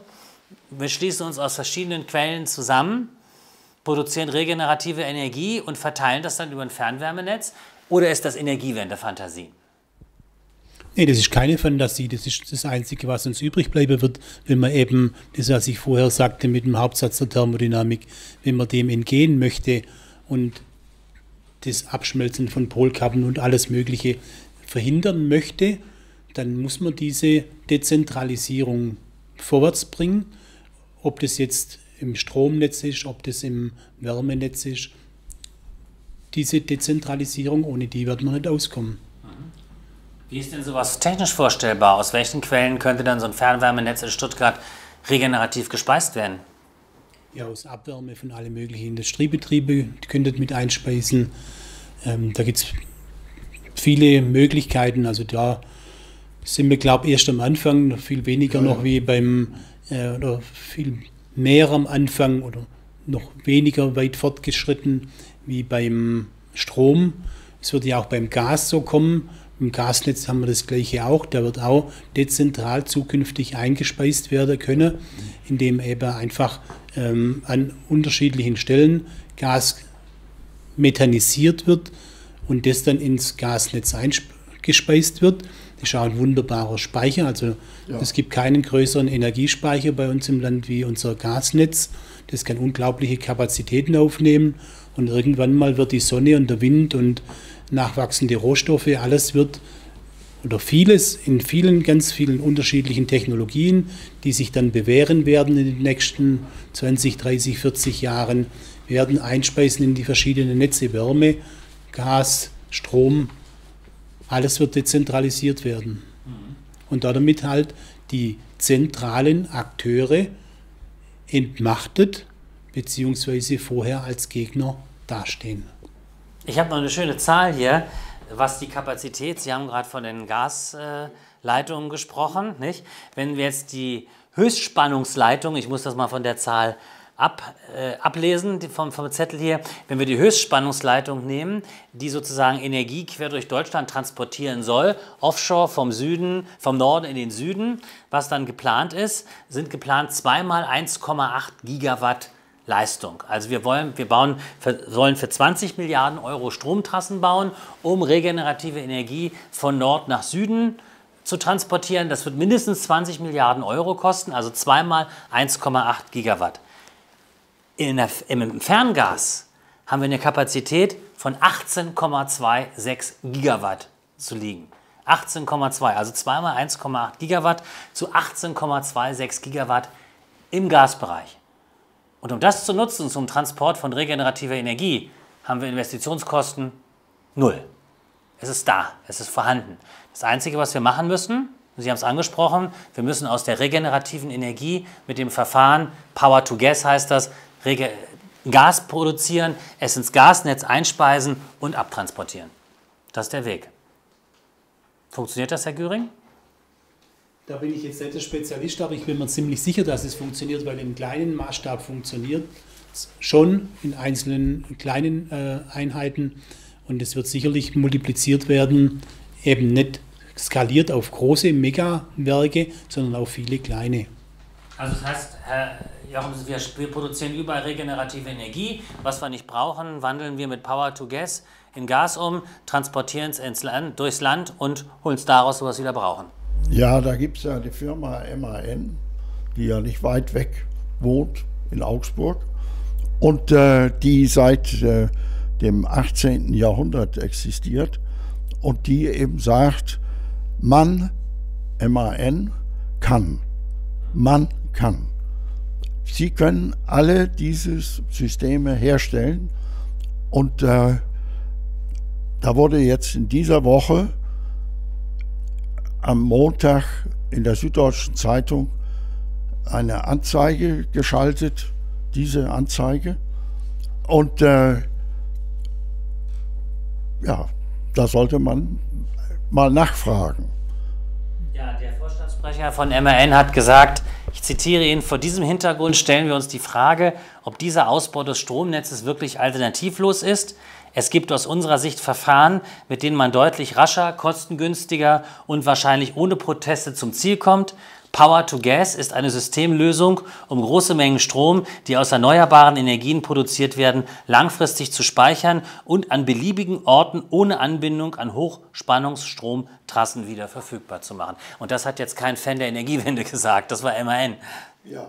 Weil wir ja 20 Millionen Häuser haben in der Fläche, die also mit Gas beheizt werden. Also man hat ein Vertriebssystem damit und vor allen Dingen, man kann dieses äh, ausbauen, indem man dort Kraft-Wärme-Kopplung äh, erzeugt. Und, und das ist, ist eben die Energiequelle, die dann greift in dem Moment, wo also die, der Wind nicht weht und wo die Sonne nicht scheint. Und Kraft-Wärme-Kopplung ist das. Wir haben gerade über Wärme in Stuttgart gesprochen. Da, wo man Strom produziert, kann man Wärme zusammen produzieren. Und diese Wärme kann man dann auch wieder benutzen. Wenn Sie das Begehren durchsetzen können, wenn Sie sich durchsetzen können, was machen Sie dann mit den beiden ollen Kraftwerken, die die ENBW besitzt, die Müll verbrennt und Kohle verbrennt? Was wird denn dann aus den armen Kraftwerken? Ja, also wenn wir uns durchsetzen können, dass die Stadt das Netz übernimmt, dann ist erstmal noch harte Arbeit nötig, um die Stadt so weit zu bringen, dass ähm, dass man umstellen kann auf die Wärmewende. Ne? Das kommt ja nicht von alleine in Stuttgart. Das ist ja, ist ja eine schwierige Situation hier. Ja, die werden irgendwann abgestellt, ist ja klar. Was, die sollen ihren BW behalten? Ja, natürlich. Sie sind so. hartherzige Leute, sind sie. Was Äh, sollen ihren BW mit diesen Kraftwerken dann machen? Die brauchen die doch gar nicht mehr. Also Das die wird ja können nur-. Ja. Dann bringen die ja nichts mehr. Nein. Ich meine, die Kohle, die hier verbrannt wird, man muss auch gucken, die Kohle, die hier verbrannt wird in Stuttgart, wo die herkommt auch. Ne? Die ENBW bezieht für Stuttgart, also für, für äh, Münster und für Geisburg, dann für ähm, Deizisau Altbach und für Heilbronn. Die Kohle kommt alle aus Kolumbien und kommt aus West Virginia, wo sie ganze Bergkuppen absprengen ne? und damit sie leicht an die Kohle kommen können und die ganze Umwelt kaputt machen. Und ich meine, das ist doch gar keine Zukunftsperspektive. Ja, also die können sie wirklich abstellen. Also die wollen sie gar nicht übernehmen. Äh, die sind auch nicht bei der Konzession beinhaltet, da geht es immer um die Netze und diese Kraftwerke nie. Müll verbrennen und daraus Strom zu produzieren oder Wärme zu produzieren, scheint ein lukratives Geschäft zu sein. Oder? Ja, es gibt Dokumentationen, da äh, wird vermerkt, dass die äh, Rendite höher ist als bei den Banken, als es noch sehr gut lief. Also da wird so an die 40 Prozent, von 40 Prozent gesprochen. Dann Weil- kaufe ich mir dieses Kraftwerk. Also ganz interessant. Also Ja. muss ich das Heizkraftwerk Münster mir kaufen. Ja, Ja, vor allen Setzen Dingen- sich mal durch, 40% Rendite. Vor allen Dingen, wir versuchen ja immer Müll zu trennen. Das ist ja das Problem. Die Bürger wollen es ja wirklich richtig machen. Und im Endeffekt wird dieser getrennte Müll, äh, der wird ja wieder weiter verbrannt zum Teil. Ne? Zum Teil an Zementwerke geliefert, zum Teil braucht aber auch der Müll wieder neue Stoffe, damit er brennt. Und äh, wir kommen aus diesem ganzen Kreislauf der Müllproduktion und der immer weiteren Verpackung, wenn Sie Lebensmittel kaufen im normalen Laden, Sie haben nur noch Plastik, Plastik, Plastik. Ja? Wir kommen da nicht weg, das wird immer weiter ausgebaut, weil hinter der Müllverbrennung steht die Verpackungsindustrie. Da kommen ganz viele Zweige wieder, die Interesse haben, das System aufrechtzuerhalten. Und deswegen ist es wichtig, dass mal die Stadt das Fernwärmenetz wiederholt und anfängt, was zu ändern. Und die muss gestoppt werden, die Müllverbrennung. Das geht nicht anders, ändert sich nichts sonst. Und ich habe ja schon verschiedentlich für Ihre Unterschrift geworben, um das nochmal zu motivieren, um Sie zu indoktrinieren. Es gibt auch die Erfahrung, dass in der Art und Weise, wie man hier Wärme produziert, dass es enorme Preissteigerungen hier gegeben hat und wahrscheinlich in der Zukunft auch noch geben wird, oder? Ja, das ist genau der Punkt Monopolpreis. Das Netz gehört ENBW und sie hat das Monopol auf die Fernwärme und die Bürger müssen zahlen, was verlangt wird. Und da gab es 2012, 2013, dem Abrechnungszeitraum, gab es eine Preiserhöhung des Kilowattstunden Arbeitspreises um 30 Prozent. Also ich kriege selber Fernwärme, ich habe das nachgerechnet, ist auch im Netz bei 100 Strom die Rechnung, die ich bekommen habe. Ähm, der Arbeitspreis um 30 Prozent gesteigert, Kilowattstundenpreis, das ist äh, durch nichts gerechtfertigt gewesen. Also durch gar nichts. Die Löhne sind um 3,5 Prozent gestiegen. Kohlepreis ist damals noch im Vorjahr ein bisschen angestiegen, aber nicht um 30 Prozent. Also da gab es keine Rechtfertigung und das ist auch ein ganz wichtiger Punkt. Wärme ist Daseinsvorsorge und muss für alle erschwinglich sein. Wir müssen jetzt mit dem Thema aufhören, weil wenn wir jetzt den Leuten erzählen, dass Müllverbrennen 40% Rendite bringt und ENBW 30% die Steigerung hat, dann kaufen die Leute alle ENBW-Aktien, um an den Gewinn teilzuhaben. Wir machen hier eine Werbeshow für ENBW, das darf natürlich überhaupt nicht sein. Also ENBW verliert Geld. Und zwar massiv. Jedes Jahr. Nein, das liegt nicht am Müll. Das liegt an dem Müll, den Sie vorher produziert haben. Denn die Kraftwerke hätten Sie nicht bauen dürfen. Ja, also dann doch keine ENBW-Aktien kaufen, auf alle Fälle. also keine Aktientipps jedenfalls. So, das Thema haben wir jetzt erstmal so.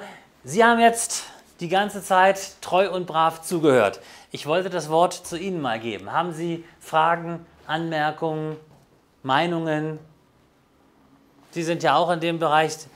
Können wir das Mikrofon mal zu Ihnen geben?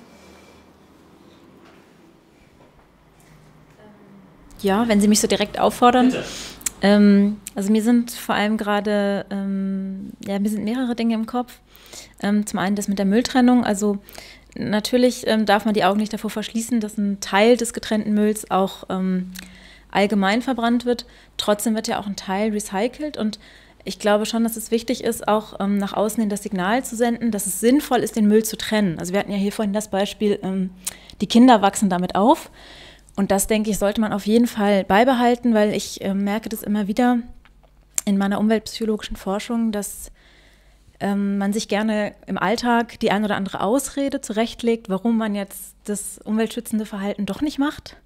Und eine davon ist zum Beispiel nicht für Sie persönlich, aber leider für viele andere ähm, dieses, ach ja, das wird doch nachher eh alles zusammengeschmissen. Und leider ähm, ja, senkt das dann die Motivation und den Idealismus ähm, bei den Menschen im Alltag, äh, den Müll zu trennen. Also deswegen möchte ich mich nochmal stark machen dafür, dass wir doch weiterhin den Müll trennen, auch das Altglas wegbringen zum Container, auch wenn das vielleicht äh, eben einen kleinen Spaziergang macht, bedeutet, aber das ist ja auch wieder gut für die Gesundheit. Also, ja. Ich habe über zehn Jahre Wissenschaftsberichterstattung für Dreisat gemacht.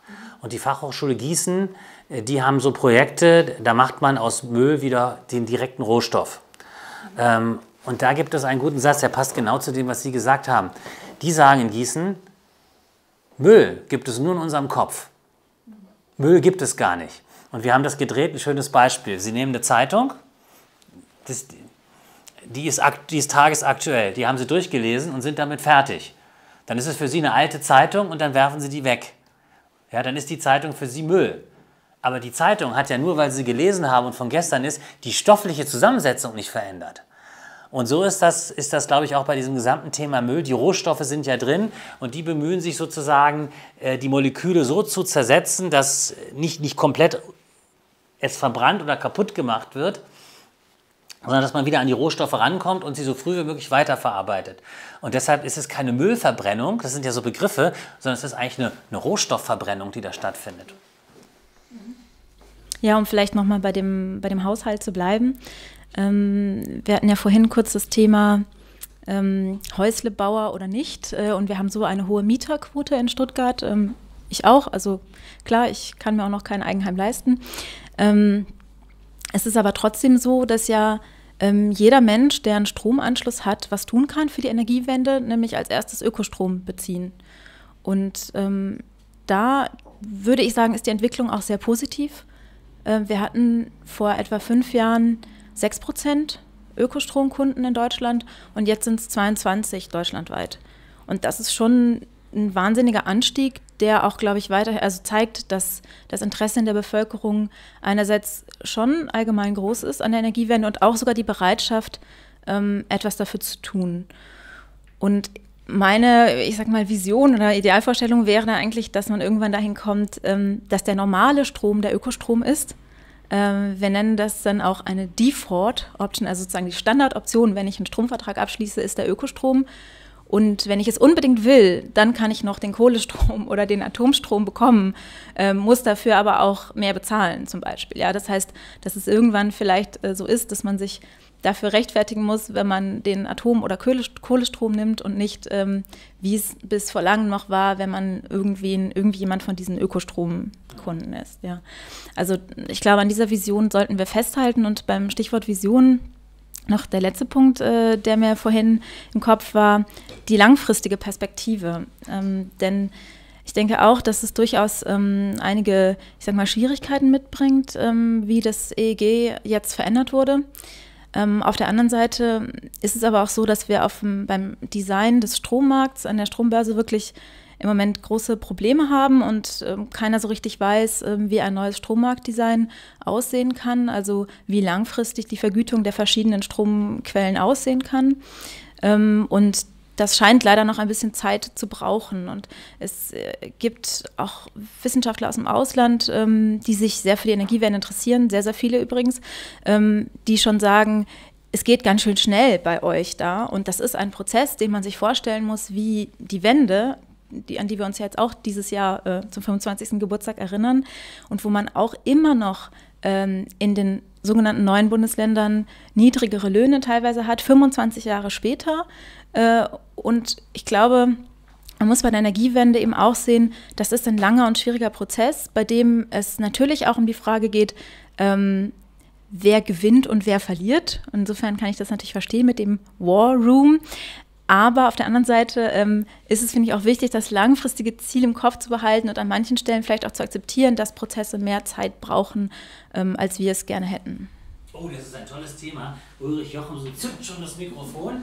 Ja. Ähm, Da möchte ich gleich was ganz kurz dazu sagen. Ich glaube, die, die Zeit haben wir gar nicht mehr.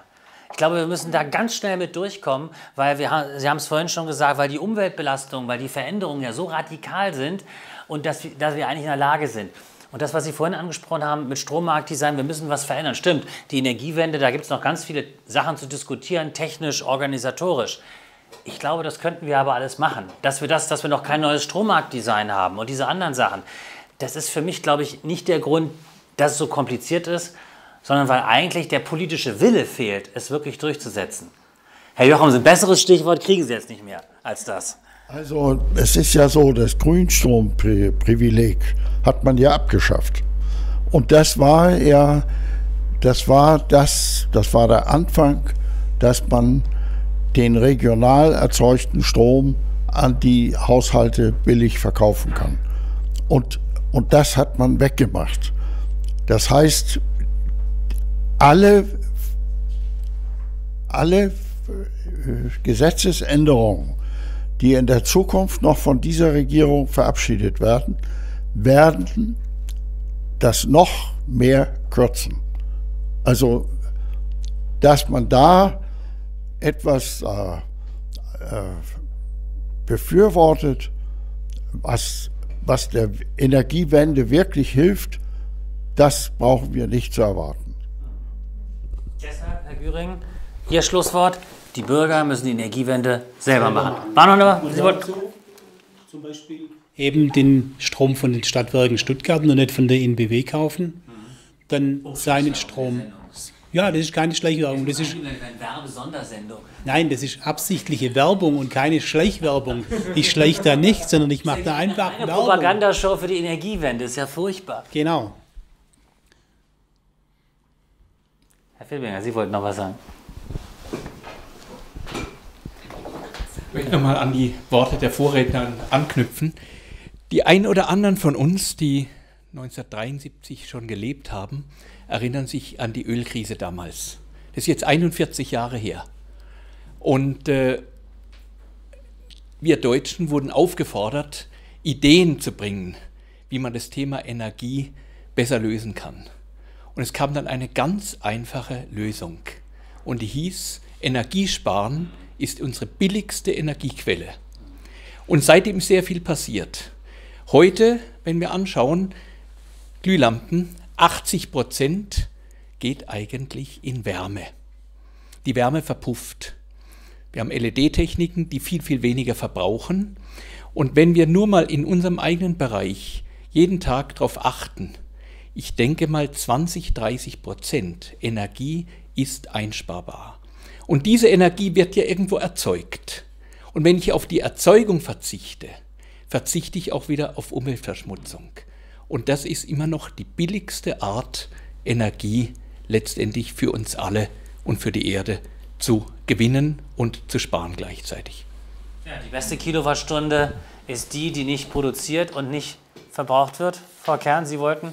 Ich wollte noch kurz zu Ihnen was sagen zur Mülltrennung. Nicht, dass es ein schräges Bild gibt. Also ich bin auf jeden Fall für Müll, Mülltrennung, aber ich kann verstehen, dass bei den Bürgern das äh, mit der Zeit das Interesse nachlässt, weil man ja mitkriegt, dass der verbrannt wird. Und das, das kriegt man ja mit, dass es wieder zusammengeschmissen wird. Mülltrennung ist insofern ganz, ganz wichtig, als es wirklich alles Wertstoffe sind. Sehr, sehr viele Wertstoffe, muss noch viel, viel besser trennen. Man muss Müll vermeiden, natürlich auch. Das wird ja nicht laufen, solange man verbrennen kann. Äh, und trennen. Und dann gibt es ja auch die Möglichkeit, dass man gerade die Problemstoffe, die man nicht äh, recyceln kann, einfach so wie Elektronikschrott oder äh, Plastikmüll, Verbundwerkstoffe, da kann man eine Kältetechnik anwenden, dass man die dann ähm, ab, stark abkühlt, das Kryorecycling, und dann das Ganze mahlen kann, wenn es fest ist, und dann kann, also wenn es spröde wird, und dann kann man das sortenrein äh, elektrostatisch wieder äh, trennen und hat wieder praktisch das Ausgangsmaterial. Und äh, im Moment wird der Elektronikschrott zum großen Teil nach Afrika gebracht, ne, wo, da, äh, wo er verbrannt wird, auf den Müllhalten von Kindern halt sortiert wird. Also man kann wirklich viel tun. Deswegen ist es so wichtig, dass man das Netz kriegt und dass man mal anfangen kann. Ja, letztendlich ist es ja so, dass wir für die Rohstoffbeschaffung unserer Bundeswehr umrüsten. Und äh, äh, das bedeutet, dass wir also in Bezug auf die Friedensmöglichkeiten ganz, ganz äh, schlecht äh, dastehen. Wir müssen, unsere Rohstoffe müssen wir recyceln. Und zwar qualifiziert recyceln. Und das wird in einer späteren Sendung, wenn ich das sagen darf, wird das gemacht. Die Katze lässt das Mausen nicht. Ulrich Jorsen hat noch ganz andere Konzepte. Wenn Sie also hier in Stuttgart direkt in der Region was tun wollen, dann unterschreiben Sie beim Bürgerbegehren Fernwärmenetz. Wir kommen mit einer großen Bühne, mit einer Live-Sendung, deshalb nochmal an Stuttgart. Den Termin und Ort finden Sie jetzt gerade hier unten eingeblendet. Wir werden das am Samstag, ein Samstag ist das. Und da können Sie direkt zu uns zur Bühne kommen. Ulrich Jochumsen ist da, Frau Kern ist da. Sie laden wir auch herzlich dazu ein, Unterschriften zu sammeln. Und eine Drohung. Wir werden da so lange sitzen, bis die 10.000 Unterschriften zusammen sind. Und ab Mitternacht wird Herr Jochumsen, falls die 10.000 Unterschriften nicht da sind, mit dem Kochtopf sitzen und die ganze Zeit draufschlagen, bis alle gekommen sind. Also 10.000 Unterschriften sind in Stuttgart zu schaffen und dann können Sie entscheiden, was aus dem Fernwärmenetz wird. Das war unsere erste Sendung, reguläre Sendung aus dem Room hier in Stuttgart.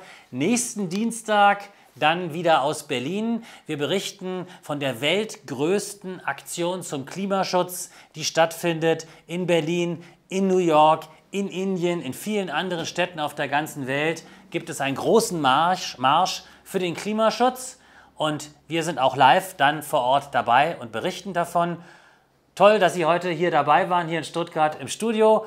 Und Donnerstag nächster Woche gibt es eine weitere Sendung von Leben mit der Energiewende TV hier aus Baden-Württemberg. Vielen Dank und auf Wiedersehen. Und ich mache pünktlich Schluss, weil nicht die Sendezeit um ist, sondern weil jetzt die Pizza hier reinrollt. Vielen Dank. Tschüss, bis zum nächsten Mal. Dankeschön. Danke. Dankeschön.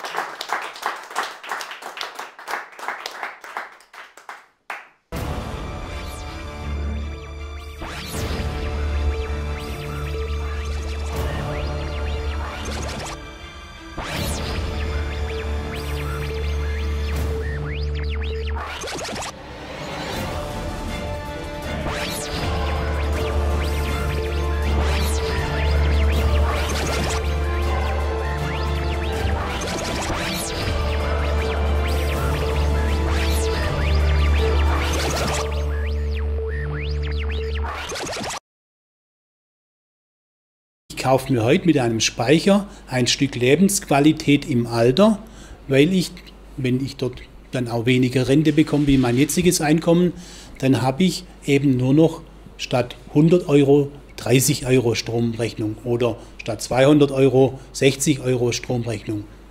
Eben nur noch 30 Prozent.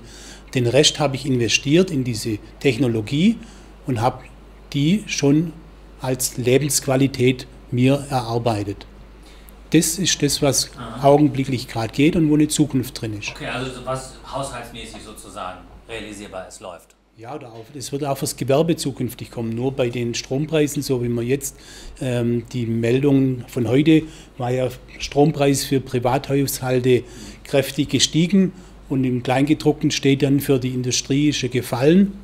Und wenn man sich dann, und das habe ich mir jetzt mal im Vorfeld gemacht, die Zahlen anguckt, es werden 107 Terawatt, ähm, Terawattstunden, also eine unvorstellbar große Zahl, aber nehmen wir einfach mal 107, werden verbraucht von Industriebetrieben, die befreit sind.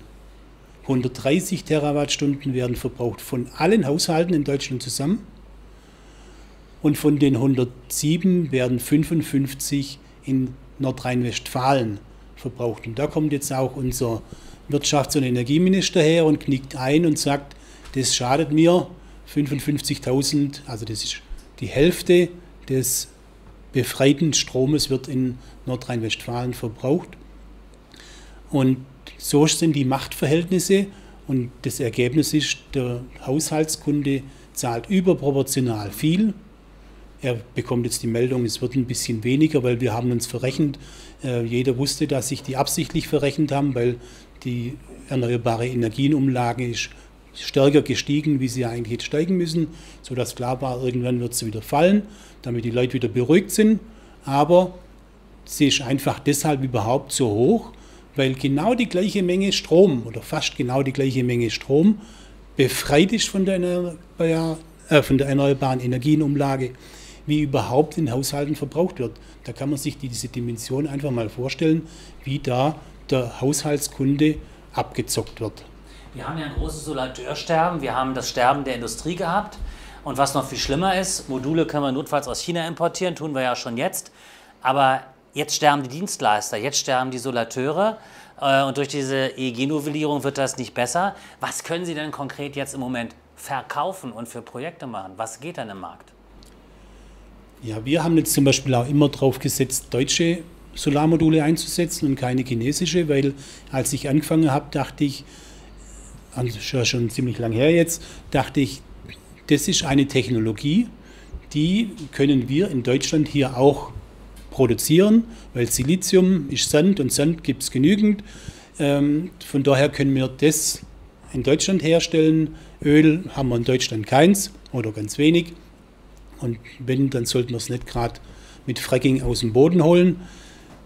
Aber Sand hätte es genügend und das wäre eine Technologie, die wir später mal ins Ausland und in die Welt liefern können. Und die Wirtschaftspolitik dann, diese jetzt alle zugrunde gehen zu lassen, das ist einfach nicht besonders geistreich von unserer Regierung. Kohle zu fördern anstatt Solarenergie, ähm, ganz traurig. Wie viel teurer sind denn deutsche Module als chinesische, wenn Sie die verkaufen? Ja, so 15, 20 Prozent ungefähr. 20 Prozent. Das bei einer Anlage für einen Häuslebauer sind dann 600, 700 Euro höchstens. So den, ja. Okay. Können Sie an die Wirtschaft was verkaufen, an Betriebe oder läuft das nur noch über die kleine Schiene, kleine Verbraucher? Ganz selten an Wirtschaft äh, oder ein kleineres Gewerbe. Äh, große machen es eigentlich nur noch aus Prestigegründe, finanziell ganz wenig. Können Sie Speicher verkaufen oder fängt das jetzt erst an?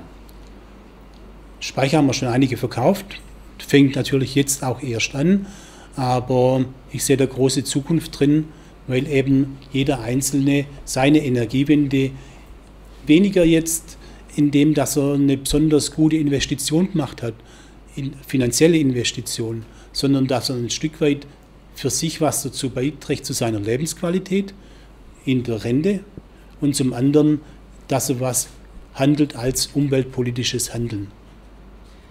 Herr Jochamsen, in einer Weise kommt die EEG-Novelle eigentlich Ihnen entgegen. Sie sagen ja immer, die Bürger müssen die Energiewende selber machen. Früher war es so, man hat eingespeist, hat irgendeine Rendite dafür kassiert, aber jetzt steht die Energiewende eigentlich für die Bürger direkt vor der Tür, weil jetzt muss man den Strom sozusagen selber verbrauchen, selber speichern. Das hat ja überhaupt erstmal Erotik für die Bürger, denn einfach so ins Netz einspeisen, das macht ja gar keinen Spaß. Wenn man selber den Strom sammelt, verbraucht, speichert, das kriegt langsam pornografische Qualität. Äh, und insofern müsste das Ganze in Ihrem Sinne sein. Also ich äh, habe mich daran gewöhnt, dass die Politik immer sozusagen zickzack fährt. Und ähm, äh, das eigentliche Problem, das hinter der ähm, Machenschaften der Regierung mit, der, mit den vier großen Konzernen äh, steht, äh, das ist ja im Grunde genommen nicht gelöst. Hier geht es ja darum, dass äh, zentral gegen dezentral jetzt in der Runde äh, also Punktsiege davonträgt. Das kommt jetzt darauf an, äh, diese Dezentralität ähm, das nach vorne zu bringen. Also alles, was dezentral ist, ist hier etwas, was wir dringend machen müssen. Und da müssen wir auf Innovation setzen. Wir, wir können nicht äh, so weitermachen wie bisher. Und äh, äh, dazu denke ich, dass wir vielleicht noch etwas später in der Sendung dazukommen, was das ist. Also meine Freundin und ich, wir haben gerade mit Speichern zu Hause rumexperimentiert als Mieter. Äh, Modul auf dem Balkon, Speicher reingerollt äh, zu Hause ins Wohnzimmer und bis auf die Großgeräte haben wir alles betreiben können damit. Also Lampen, Computer, Handy, alles aus einer Box raus. Und das hat unheimlich viel Spaß gemacht. Und dann versucht man auch ähm, mit dem Strom irgendwie auszukommen und sagt, ich muss alles aus dem Netz kommen. Und das ist, glaube ich, der Aspekt an der ganzen Geschichte. Jetzt, wo man nicht sagt, ab ins Netz, sondern ich sammle meinen Strom selber, ich verbrauche den selber, damit auszukommen, das macht eigentlich richtig Spaß. Spaß, Sachen nicht zu verbrauchen, sondern Spaß macht es, mit Sachen auch auszukommen. Ja, das ist das, was ich meine, dass der ein Stück Lebensqualität auch dabei entsteht. Mhm. Ähm, der Spaß lässt noch mal weiter nach. Also irgendwann mal die erste Solaranlagen. Meinen Sie Teufel nicht an die Wand? Doch, also wenn man dann so die ersten Jahre eine Photovoltaikanlage auf dem Dach hat, dann, die, ich kenne das von meinen Kunden, am Anfang gehen sie jeden Tag in den Keller, lesen den Zähler ab, wie viel erzeugt wurde. Das irgendwann mal das ist ja das Schöne, wenn man einmal im Monat. Im hat. Man macht die so. Kiste auf und guckt statt im Fernseher in den Speicher rein die ganze Zeit ja. und freut sich, wie viel Strom dran ist, was man verbrauchen kann und so weiter. Aber ja? auch das lässt nach, das kann ich Ihnen versprechen. Das ist ja doof. Ja. Die Sendung macht jetzt gar keinen Spaß mehr. Sie müssen mir noch mehr Spaß versprechen. Aber Liebe Zuschauer, vergessen Sie das, der Göring hat völlig Unrecht. Man wird süchtig. Zählen Sie weiter. Ja, was man aber auch bekommt, ist, ähm, man bekommt durch diese Dezentralisierung Feinde.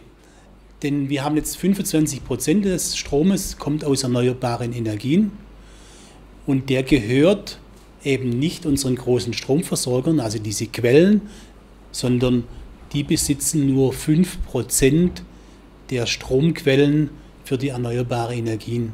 Das heißt, 95% sind andere Aktivisten, die erneuerbare Energien produzieren und nicht die vier großen. Und deshalb haben die gemerkt, ihr Geschäftsfeld schwimmt ihnen davon und deshalb positionieren die sich jetzt heute anders. Und werden zu einem erbitterten Gegner werden. Ja, also ich kann. Herr Jochum, Sie wollten was sagen? Ja, also äh, das hat sich ja schon sehr früh angekündigt. Hm. Denn äh, 2010, äh, äh, Jahreswende 2010, wurde ja dieser skandalöse Tarif geändert. Also das, ja, das, äh, nein, nein, äh, da ist ja eine Tarifsystematik, dass die Industrie das sehr billig bekommt und der Bürger sehr teuer. Und äh, äh, das ist ja das Ergebnis der ersten großen Koalition mit Merkel, dass der Umweltminister ähm, also er wurde extra darauf aufmerksam gemacht von Hermann Scheer, dass er diese großen Kraftwerke, die als Ersatz gebaut werden sollten, für die außer Dienst zu stellenden, dass er die nicht genehmigen sollte. Und die hat er genehmigt. Und, und dadurch äh, ist diese Situation entstanden, in, äh, in der wir jetzt sind. Und äh, das müssen wir verstehen, dass die Spekulation, äh, äh, ja, dass die also ihre Renditeerwartungen äh, unbedingt haben wollen und, und die werden sie nicht kriegen. Mit Hilfe, ich sage das nochmals, Propaganda für dezentrale, demokratische bürgernahe Energie. Und, und da beißt kein, keiner äh, den Faden ab, keine Maus, das wird passieren.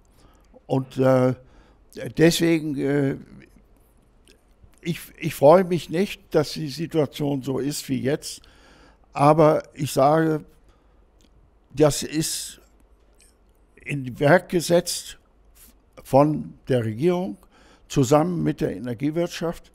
Da hat Hildegard Müller hat da mitgeholfen. Also äh, das, wenn man das alles darlegen würde, das würde ja noch mal eine, also mindestens eine Sendung äh, ähm, äh, machen, würde das vollfüllen, voll, voll ausfüllen. Also es ist es ist eben so, die haben jetzt gewonnen, aber das bleibt nicht so. Und das ist entscheidend. Und, und alle Argumente sprechen für uns.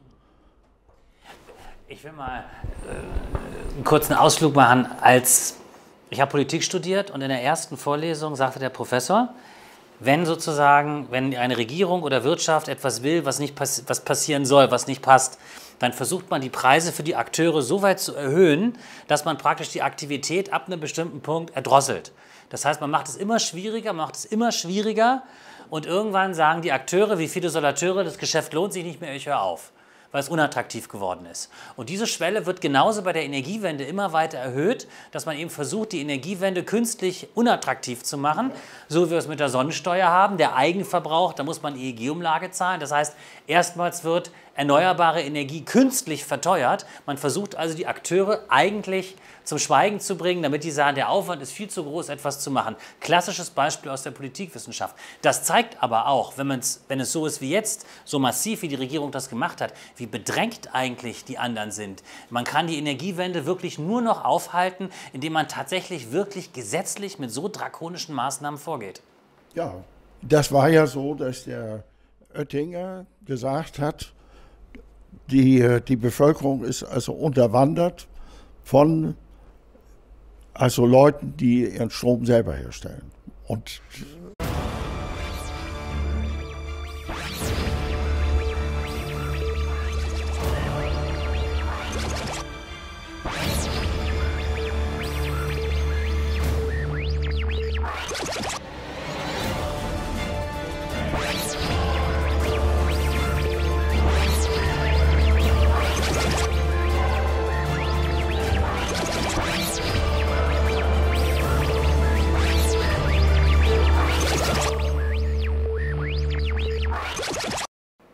Hier ist Leben mit der Energiewende. Diesmal nicht aus Berlin, sondern direkt aus Stuttgart. Herzlich willkommen hier im Studio. Guten Abend. Hallo, Dankeschön.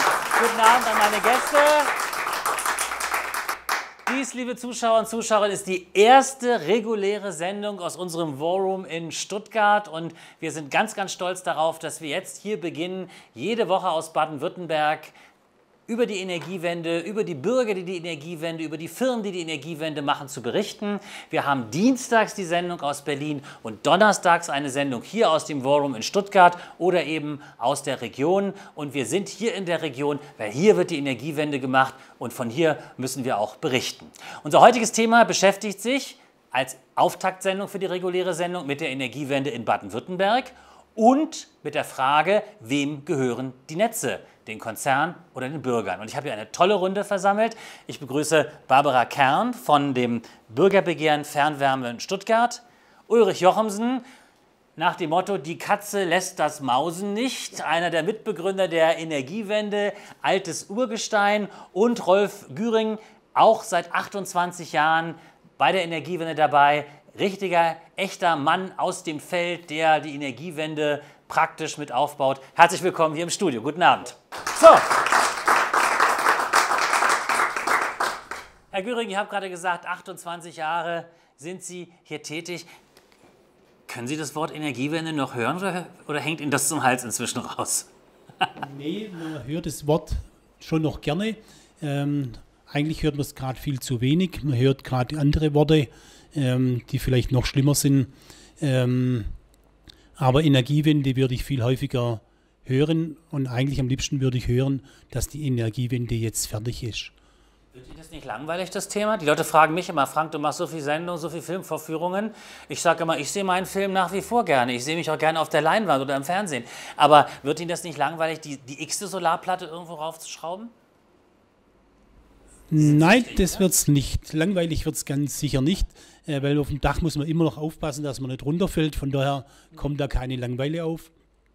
Das Einzige, was mittlerweile anders ist, der Aufwand für diese vielen kleinen Solaranlagen, die nur noch gebaut werden, ist ein ganz viel größerer, auch bürokratischer, wie wenn man große Anlagen gebaut hat, früher für äh, institutionelle Anleger oder für Energiegenossenschaften weil heute haben wir die Situation, dass in Stuttgart der Bürger merkt, dass er seinen Strom vom Dach runter billiger machen könnte, aber er hat nur ein kleines Dach zur Verfügung, deshalb kann er nur eine kleine Anlage bauen.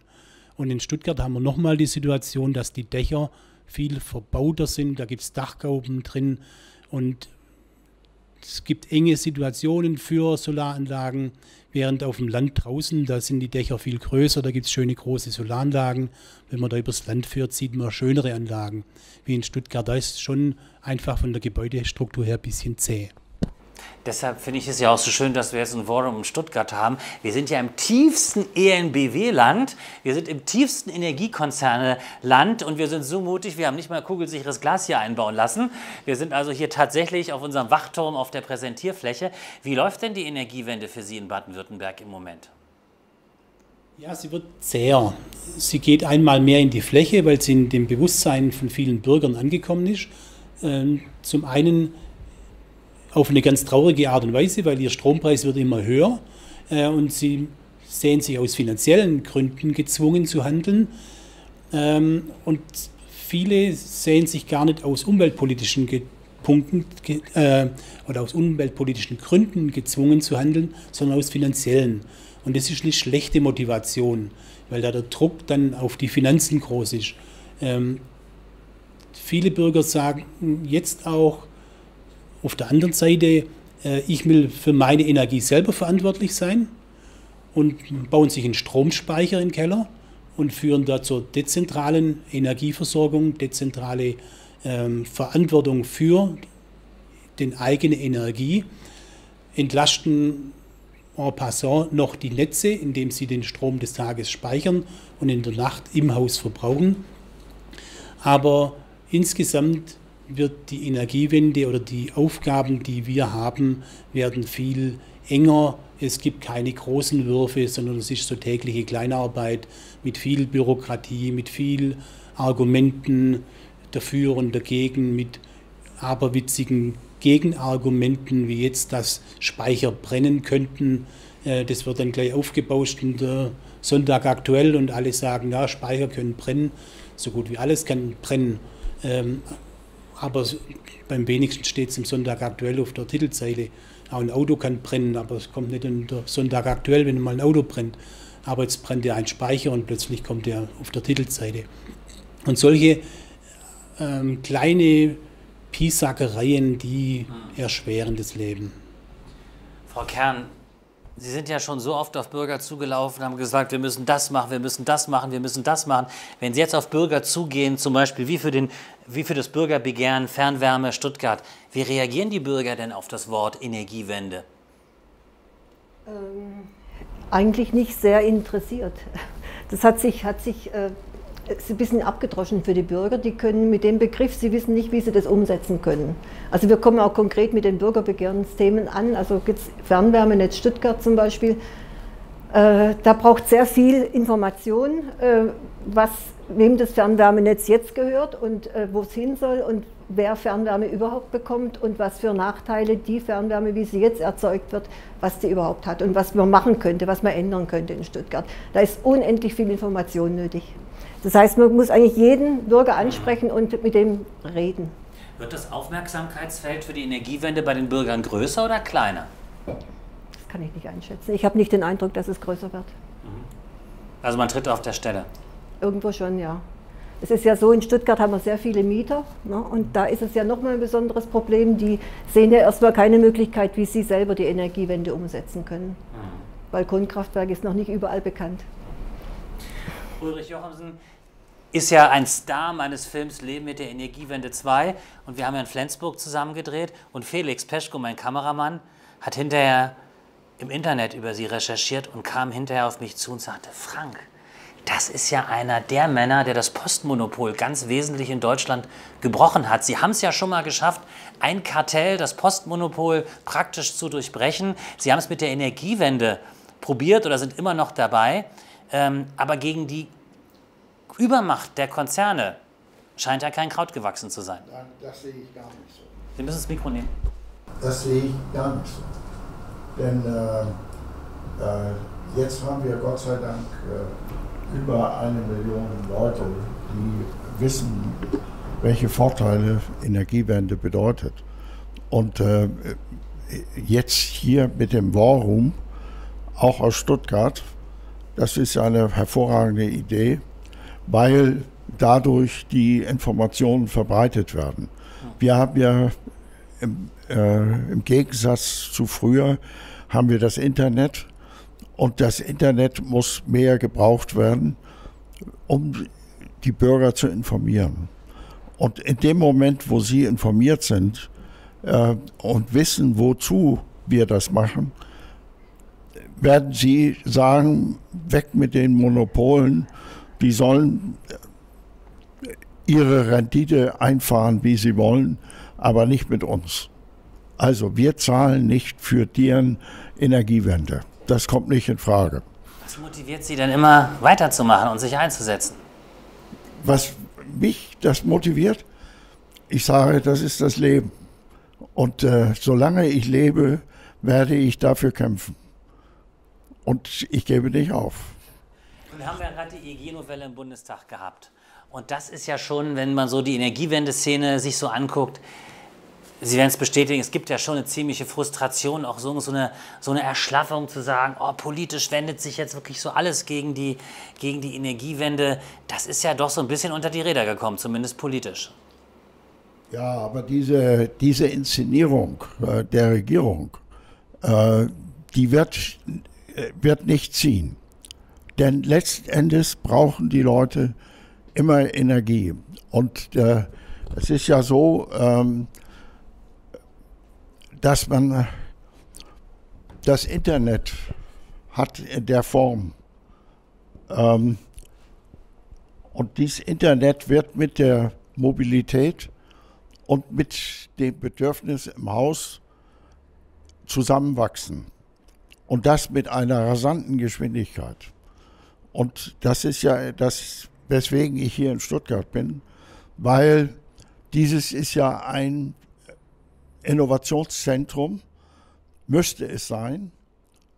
Und wir werden es dahin bringen, weil die, äh, die Erfordernisse sprechen eindeutig dafür. Man kann ja heute äh, sozusagen äh,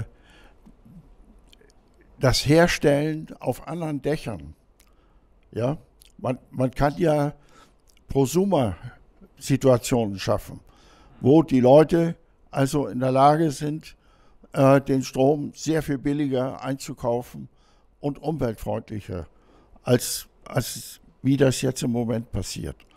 Und äh, daran kann nur äh, gearbeitet werden, wenn wir einen starken Sender auf unserer Seite haben. Und das ist der Warum. Dankeschön. Und wir suchen auch starke Bürger. Wenn Sie jetzt den Vorteil haben, dass Sie uns in Stuttgart zusehen, wir suchen 10.000 engagierte, selbstbewusste Bürger, die noch das Bürgerbegehren Fernwärmenetz Stuttgart unterstützen mit ihrer Unterschrift. Es fehlen noch 10.000 Unterschriften, um den Stadt, um die Stadt zu zwingen, diesen Weg zu gehen oder die Bürger dazu aufzurufen, darüber zu entscheiden. Dazu gleich noch später mehr in der Sendung. Also 10.000 Stuttgarter bitte schon mal den Kugelschreiber in die Hand nehmen und bereithalten, gleich dazu mehr. Herr Güring, was geht denn noch an Projekten, an Energiewende? Was machen denn die Bürger? Was machen die Firmen jetzt noch? Denn das mit der Einspeisevergütung läuft 2017 aus und jetzt lohnt sich es eigentlich nicht mehr. Was für Projekte können Sie jetzt machen noch hier in der Region? Ja, die Einspeisevergütung äh, ist nur ein Teil. Der andere Teil ist der Eigenverbrauch. Überall, wo jemand unter dem Dach wohnt, das ihm gehört, äh, kann er den Strom selber produzieren und kann ihn selber verbrauchen. Das heißt, er ist nicht angewiesen auf die Einspeisevergütung, sondern er kann den Strom entweder sofort verwenden, wenn die Sonne scheint, oder speichern und ihn dann verwenden, wann er ihn eben braucht. Von daher ähm, ist, sobald der Besitz eben da ist und das Recht auf das Dach, bei Mietern ist das viel schwieriger. Die haben nicht die Möglichkeit, eine Investition auf die nächsten 20 Jahre zu machen, weil Speicher für eine Solaranlage bedeutet, ich investiere heute in meine Stromrechnung von 10 Jahre, 15 Jahre. Wenn ich einen Speicher bei mir im Keller habe, in meinem Haus, dann wird meine Stromrechnung nur noch 30 Prozent von der heutigen sein. Das heißt, ich lebe, ähm, wenn all die Energie, die über Jahrhunderte oder Jahrmillionen Jahre, nicht Jahrhunderte, über Jahrmillionen Jahre zu fossilen Energieformen wurde, wenn die wieder in der Atmosphäre sind, dann ist die Erde auch wieder in dem Zustand wie vor Jahrmillionen Jahren. Das ist die strengste Ableitung vom zweiten Hauptsatz der Thermodynamik. Und vor Jahrmillionen Jahren war die Erde für den Menschen nicht bewohnbar. Das heißt, wenn wir mit der erneuerbaren Energie nicht vorwärts kommen und alle fossile Energien mit Fracking und allen raffinierten Methoden aus der Erde rausholen, dann zerstören wir die Atmosphäre so, dass sie für uns nicht mehr lebensfähig ist. Und da sind wir eigentlich einfach gezwungen, diese Energiewende zu gewinnen, oder es wird keinen Sieger geben. Der einzige Sieger, der nachher überleben wird, das werden wir sein oder unsere Enkel, die die Energiewende machen. Von daher bin ich da ganz zuversichtlich, dass der War von ihnen gewonnen wird.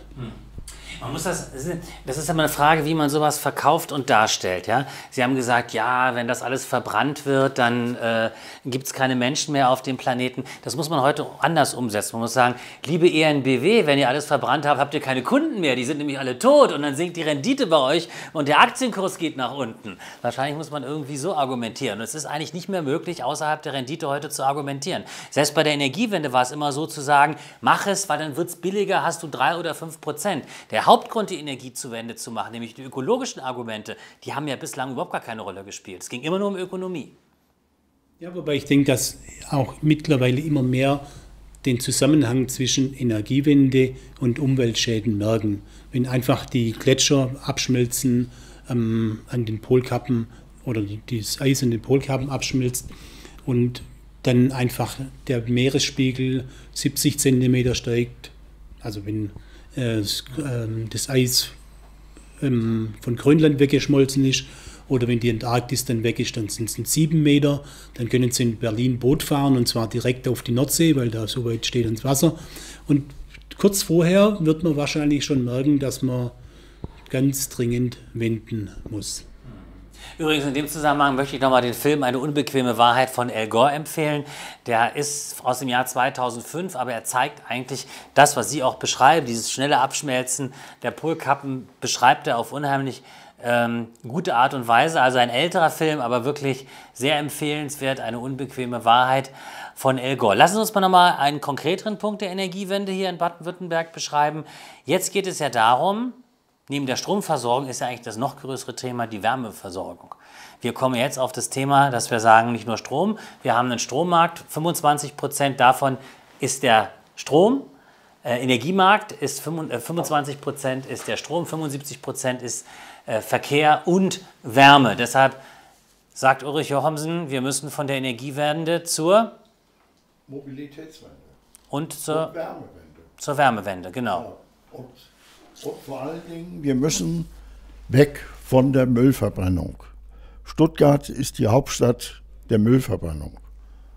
Das muss man also nochmal wiederholen. Stuttgart. Stuttgart, Hauptstadt der ja, Müllverbrennung. Ja.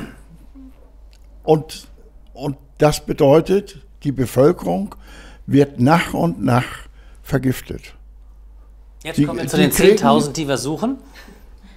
Wie war das? Jetzt kommen wir zu den 10.000 Stuttgartern, ja, die wir suchen. Ja, genau. Wir haben in Stuttgart eine wahnsinnig hohe Feinstaubbelastung. Ja, die höchste in der Bundesrepublik. Und das kommt durch die Müllverbrennung? Nein, äh, man sagt, das kommt vom Verkehr. Aber man misst ja gar nicht die Feinstaubbelastung von Müll. Es ist ja so, dass einmal im Jahr eine Firma beauftragt von ENBW das misst. Da können Sie sich ja vorstellen, was die messen. Alles in Ordnung. Ja. Luftkorps Stuttgart. Prima. Prima. Hm. So. Ja, die hören genau dann auf zu messen, wenn die Werte zunehmen. Hm. Also ich hatte einen Schulkameraden, der in so einer Firma arbeitete und die haben die Abluft von Altbach gemessen.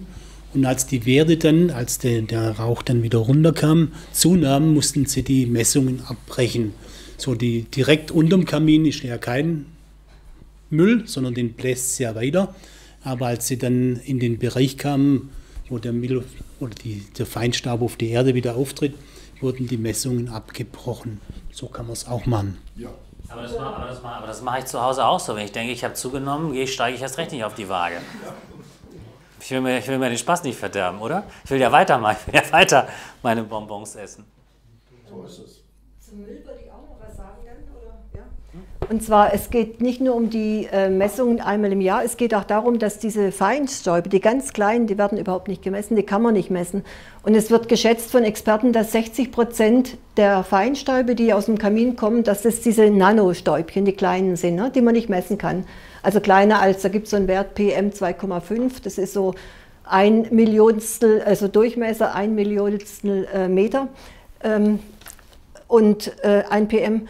Und äh, ja, die kann man nicht messen, aber die, das sind genau die gefährlichen. Ja? Die kann der Körper aufnehmen und kann sie nicht mehr filtern. Die Lunge filtert die auch nicht. Die gehen also wirklich in den Körper rein und, la und lagern sich an und haben halt irgendwelche Langzeitwirkungen. Dann, also Krankheitsbilder gibt es genug, die auf Müllverbrennung zurückgeführt werden. Das geht von ja, Atembeschwerden, Asthma, Krebs, äh, dann ähm, Alzheimer wird auch darauf zurückgeführt, dann ähm, Knochenschäden, also da kann man, kann man ewig weitermachen, auch bei Neugeborenen Probleme und das ist also wirklich schlimm und es wird nicht thematisiert, das ist das Problem.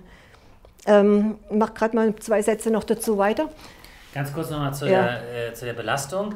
Ähm, Stuttgart hat eine Inversionswetterlage, habe ich gelesen. Und das ist besonders ungünstig, weil hier praktisch die klimatischen Bedingungen so sind, dass die Belastungen praktisch schlecht abtransportiert werden können. Habe ich das richtig wahrgenommen? Also es ist so, also nochmal ganz kurz zum Feinstaub, der kommt natürlich durch den Verkehr auch. Das kann man nicht sagen, dass durch den Verkehr jetzt weniger kommt. Aber was über die Müllverbrennung kommt, das sind völlig an, das sind auch andere Feinstäube, das sind diese ähm, Dioxine, Furane, die gibt es nur in kleinen Mengen vom Verkehr, aber durch Müll äh, sehr äh, in großen Mengen. Und es gibt äh, diese hochtoxischen Metalloxide und die gibt es durch den Verkehr überhaupt nicht. Ja? Es sind also andere Arten des, Fe des Feinstaubs. Und ähm, wie war Ihre Frage jetzt? Inversionswetterlage. Achso, ja. Und es ist so eine Müllverbrennung, die muss Tag und Nacht laufen. Äh, Das ist so, das machen die alle. Ähm, Das Abstellen, das bereitet so viele Probleme. Und ähm, es ist so, dass, dass wir zwar einen hohen Schornstein haben, der ist 180 Meter hoch in, im Münster unten. Ähm, aber dadurch, dass die auch nachts dann laufen, ist es so, nachts ist mal, also zu 70 Prozent eine Inversionswetterlage, also in der Höhe von 200 Meter über der Stadt. Ähm, und da wird der Feinstaub natürlich nicht abtransportiert. Man will ja durch die Hoch Hochstein-Situation, will man den ja aufs Land rausschicken, den Feinstaub. Und so bleibt er in Stuttgart und das durchmischt sich dann die Luft mit dem Feinstaub. Also wir kriegen in Stuttgart, die ganze Stadt kriegt äh, starke Feinstaubbelastung durch die Müllverbrennung ab.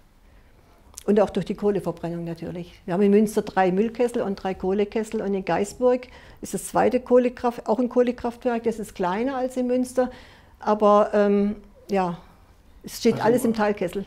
Man müsste im Grunde genommen 50 Jahre Müllverbrennung in Stuttgart äh, feiern. Also das ist ja jetzt fällig, äh, weil man das 64 angefangen hat. Also äh, es ist so, das ist ein, ein Problem, das akkumulativ äh, funktioniert und äh, das also den Boden, das Wasser, äh, die vor allen Dingen die Gesundheit der Leute beeinträchtigt. Und hier ist das Problem, dass wir sehr, sehr wenig Quellen haben von äh, Ärzten, die da detaillierte Untersuchungen gemacht haben. Und, und die Ärzte, die sich da also klar ausgedrückt haben dagegen, die hat man auf die eine oder andere Weise hat man die beseitigt und, äh, und hat die beruflich geschädigt. Also jetzt habe ich gedacht, wir hier in unserem Warroom, wir stehen hier auf Stelzen, wir sind von der Feinstaubbelastung nicht so betroffen, aber Sie haben gerade gesagt 200 Meter, also es bringt überhaupt nichts.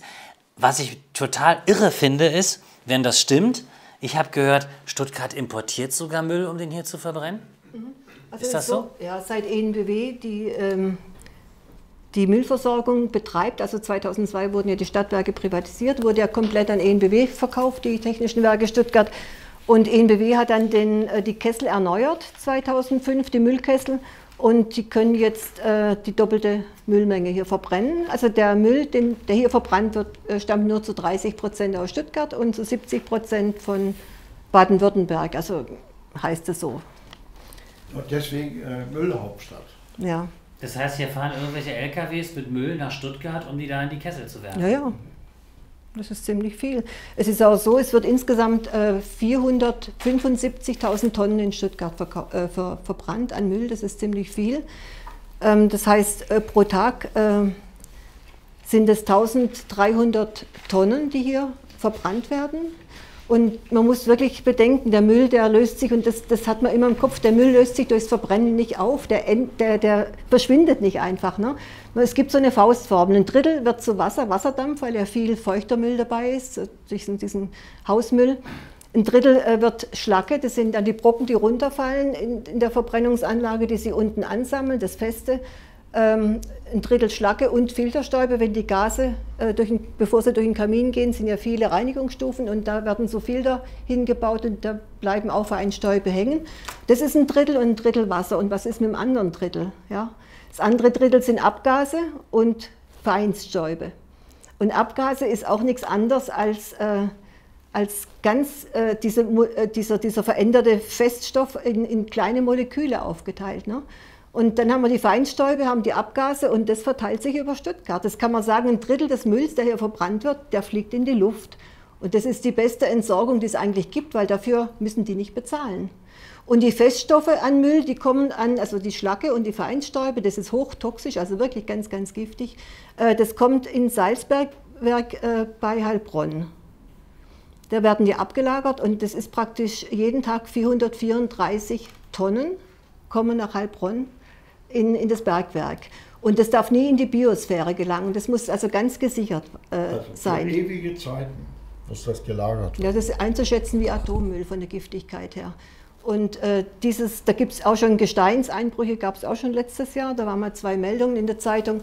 Und äh, im vorletzten Jahrhundert ist auch ein Nachbarbergwerk, man sagt das so abgesoffen, das ist jetzt nicht mein Ausdruck, das sagt man halt so, und das ist wirklich eine ganz, ganz gefährliche Situation. Und die hängt wieder zusammen mit dem Fernwärmenetz, dass wir mal zu den Bürgerbegehren kommen, weil die Wärme hier in Stuttgart gewonnen wird über Müll, über Kohleverbrennung und über Müllverbrennung.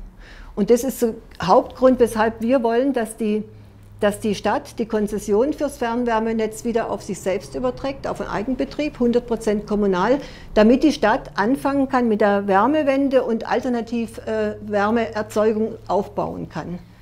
Und, äh, und zum Beispiel kann man das machen, äh, das Wärmenetz ist ja sehr groß, 240 Kilometer lang, geht durch sehr viele Stadtteile. Ähm, da könnten die, kann man Kraft-Wärme-Kopplungen zum Beispiel aufbauen, mit Gasanschluss. Die Bürger können selber Kraft-Wärme-Kopplung einbauen in die Häuser und äh, Strom erzeugen und die Wärme auch ins Netz einspeisen. Man kann das machen wie beim Strom.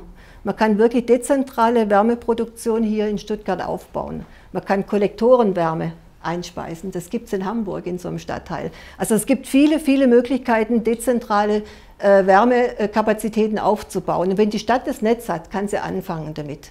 Und dann peu à peu die Kohleverbrennung und die Müllverbrennung reduzieren und irgendwann mal damit aufhören, weil das macht uns wirklich krank. Also äh, in äh, Hamburg wird, äh, wird die Solarwärme im Sommer eingespeist, sodass man die dann im Winter diese Wärme wiederbekommt. Und, und das, das geht. Und ich finde, also das sind Chancen, die werden vertan dadurch, dass man also einen Konzern beauftragt, diese Sache, dass die alle angehen. Die Gesundheit ist ein hohes Gut und das ist, betrifft jeden Einzelnen, ähm, dass der sich darum kümmern muss. Also 50 Jahre Müllverbrennung in Stuttgart haben wir. Nochmal zur Erläuterung. Das Stromnetz ist ja ausgeschrieben. Das ist jetzt, das Verfahren ist vorbei. Es muss auch das Fernwärmenetz muss auch ausgeschrieben werden. Das findet jetzt auch gerade statt. Und das ist Ihr Ansatzpunkt als Bürgerbegehren. Und das sind die 10.000 wachen Stuttgarter, selbstbewussten Stuttgarter, die wir brauchen, noch für Unterschriften. Sie haben viele Unterschriften schon gesammelt. 10.000 Unterschriften fehlen noch.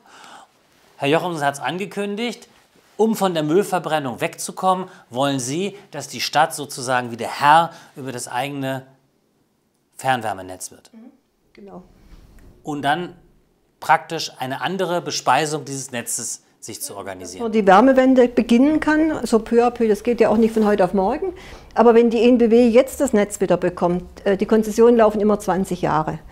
Da wird sich nichts tun in Stuttgart, da wird sich nichts ändern, weil die mhm. mit Sicherheit nicht was abtreten wollen und mit Sicherheit nicht äh, neu investieren.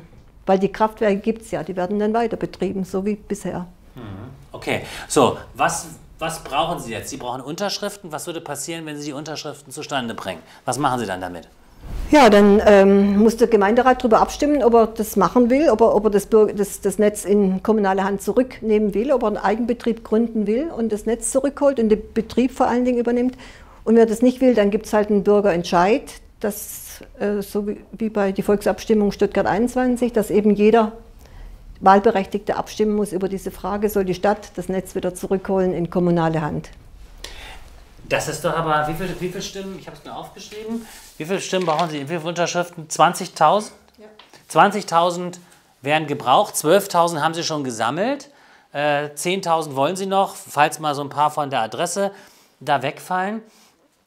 Das ist eigentlich ein ganz gutes Instrument. 20.000 Bürger, um notfalls alle mit abstimmen zu lassen. Das ist eigentlich eine gute Geschichte, oder? Das ist eine demokratische Geschichte. Genau. Also wenn Sie jetzt mitentscheiden wollen, wie das mit der Fernwärmeversorgung, mit der Wärmeversorgung hier in Stuttgart weitergeht. Wir blenden jetzt die Internetadresse der Initiative ein. Dort können Sie sich Informationen holen und es gibt auch verschiedene Termine. Sie müssen direkt persönlich selber unterschreiben, das geht nicht per Internet. Aber wir werden auch noch Aktionen durchführen. Wir werden auf der Straße sein an einem Samstag. Auch diese Adresse, wann und wo wir sind, wird jetzt eingeblendet. Dort können Sie uns finden wir suchen 10.000 Stuttgarter, die das Begehren unterstützen. Selbst wenn sie den Müll, wenn sie die Müll fahren, sie denken sich, ich habe zu Hause Müll, alles verbrannt, weg damit und so weiter, können sie es ja trotzdem unterschreiben, denn dann entscheiden die Bürger, was sie wollen. Selbst wenn sie sagen, wir wollen das nicht so ohne weiteres ändern, können sie zumindest mit dazu beitragen, dass die Bürger überhaupt mal etwas, etwas entscheiden können. Herr Güring, wie ist es denn aus der technischen Sicht? Ist sowas denkbar, so ein Netz aufzubauen?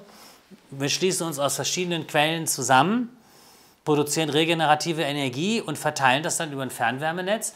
Oder ist das Energiewende-Fantasie? Nee, das ist keine Fantasie. Das ist das Einzige, was uns übrig bleiben wird, wenn man eben, das was ich vorher sagte mit dem Hauptsatz der Thermodynamik, wenn man dem entgehen möchte und das Abschmelzen von Polkappen und alles Mögliche verhindern möchte, dann muss man diese Dezentralisierung vorwärts bringen ob das jetzt im Stromnetz ist, ob das im Wärmenetz ist. Diese Dezentralisierung, ohne die wird man nicht auskommen. Wie ist denn sowas technisch vorstellbar? Aus welchen Quellen könnte dann so ein Fernwärmenetz in Stuttgart regenerativ gespeist werden? Ja, aus Abwärme von allen möglichen Industriebetrieben könntet mit einspeisen. Ähm, da gibt es viele Möglichkeiten. Also da sind wir, glaube ich, erst am Anfang, viel weniger ja. noch wie beim äh, oder viel mehr am Anfang oder noch weniger weit fortgeschritten wie beim Strom. Es wird ja auch beim Gas so kommen. Im Gasnetz haben wir das gleiche auch. Der wird auch dezentral zukünftig eingespeist werden können, indem eben einfach ähm, an unterschiedlichen Stellen Gas methanisiert wird und das dann ins Gasnetz eingespeist wird. Ist auch ein wunderbarer Speicher. Also ja. es gibt keinen größeren Energiespeicher bei uns im Land wie unser Gasnetz. Das kann unglaubliche Kapazitäten aufnehmen. Und irgendwann mal wird die Sonne und der Wind und nachwachsende Rohstoffe, alles wird oder vieles in vielen, ganz vielen unterschiedlichen Technologien, die sich dann bewähren werden in den nächsten 20, 30, 40 Jahren, werden einspeisen in die verschiedenen Netze Wärme, Gas, Strom, alles wird dezentralisiert werden. Und damit halt die zentralen Akteure entmachtet beziehungsweise vorher als Gegner dastehen. Ich habe noch eine schöne Zahl hier, was die Kapazität, Sie haben gerade von den Gasleitungen gesprochen, nicht? Wenn wir jetzt die Höchstspannungsleitung, ich muss das mal von der Zahl ab, äh, ablesen vom, vom Zettel hier, wenn wir die Höchstspannungsleitung nehmen, die sozusagen Energie quer durch Deutschland transportieren soll, offshore vom Süden, vom Norden in den Süden, was dann geplant ist, sind geplant zweimal 1,8 Gigawatt Leistung. Also wir wollen, wir bauen, sollen für 20 Milliarden Euro Stromtrassen bauen, um regenerative Energie von Nord nach Süden zu transportieren. Das wird mindestens 20 Milliarden Euro kosten, also zweimal 1,8 Gigawatt. In der, Im Ferngas haben wir eine Kapazität von 18,26 Gigawatt zu liegen. 18,2, also zweimal 1,8 Gigawatt zu 18,26 Gigawatt im Gasbereich. Und um das zu nutzen zum Transport von regenerativer Energie, haben wir Investitionskosten null. Es ist da, es ist vorhanden. Das Einzige, was wir machen müssen, Sie haben es angesprochen, wir müssen aus der regenerativen Energie mit dem Verfahren Power to Gas heißt das, Gas produzieren, es ins Gasnetz einspeisen und abtransportieren. Das ist der Weg. Funktioniert das, Herr Göring? Da bin ich jetzt nicht der Spezialist, aber ich bin mir ziemlich sicher, dass es funktioniert, weil im kleinen Maßstab funktioniert es schon in einzelnen kleinen äh, Einheiten und es wird sicherlich multipliziert werden, eben nicht skaliert auf große Megawerke, sondern auf viele kleine. Also das heißt, Herr Jochen, wir, wir produzieren überall regenerative Energie. Was wir nicht brauchen, wandeln wir mit Power to Gas in Gas um, transportieren es ins Land, durchs Land und holen es daraus, was wir wieder brauchen. Ja, da gibt es ja die Firma MAN, die ja nicht weit weg wohnt, in Augsburg, und äh, die seit äh, dem 18. Jahrhundert existiert und die eben sagt, man, MAN, kann. Man kann. Sie können alle diese Systeme herstellen und äh, da wurde jetzt in dieser Woche am Montag in der Süddeutschen Zeitung eine Anzeige geschaltet, diese Anzeige. Und äh, ja, da sollte man mal nachfragen. Ja, der Vorstandssprecher von MRN hat gesagt, ich zitiere ihn, vor diesem Hintergrund stellen wir uns die Frage, ob dieser Ausbau des Stromnetzes wirklich alternativlos ist. Es gibt aus unserer Sicht Verfahren, mit denen man deutlich rascher, kostengünstiger und wahrscheinlich ohne Proteste zum Ziel kommt. Power to Gas ist eine Systemlösung, um große Mengen Strom, die aus erneuerbaren Energien produziert werden, langfristig zu speichern und an beliebigen Orten ohne Anbindung an Hochspannungsstromtrassen wieder verfügbar zu machen. Und das hat jetzt kein Fan der Energiewende gesagt, das war MAN. Ja. Weil wir ja 20 Millionen Häuser haben in der Fläche die also mit Gas beheizt werden.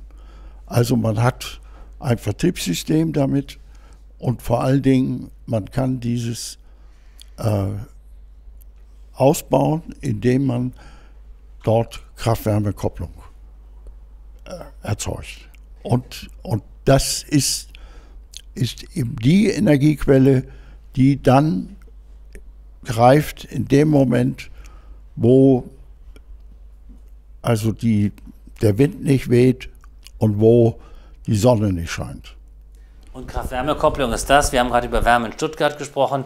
Da, wo man Strom produziert, kann man Wärme zusammen produzieren und diese Wärme kann man dann auch wieder benutzen. Wenn Sie das Begehren durchsetzen können, wenn Sie sich durchsetzen können, was machen Sie dann mit den beiden ollen Kraftwerken, die die ENBW besitzt, die Müll verbrennt und Kohle verbrennt? Was wird denn dann aus den armen Kraftwerken?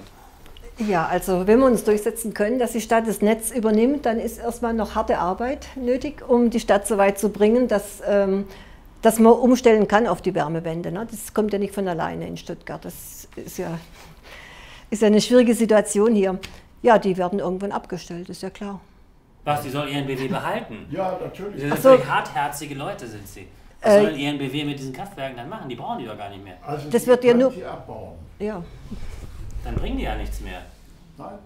Ich meine, die Kohle, die hier verbrannt wird, man muss auch gucken, die Kohle, die hier verbrannt wird in Stuttgart, wo die herkommt auch. Ne? Die NBW bezieht für Stuttgart, also für, für äh, Münster und für Geisburg, dann für ähm, Deizisau-Altbach und für Heilbronn. Die Kohle kommt alle aus Kolumbien und kommt aus West Virginia, wo sie ganze Bergkuppen absprengen ne? und damit sie leicht an die Kohle kommen können und die ganze Umwelt kaputt machen.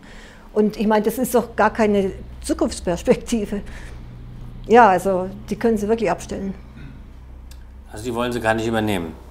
Äh, die sind auch nicht bei der Konzession beinhaltet, da geht es immer um die Netze und diese Kraftwerke nie.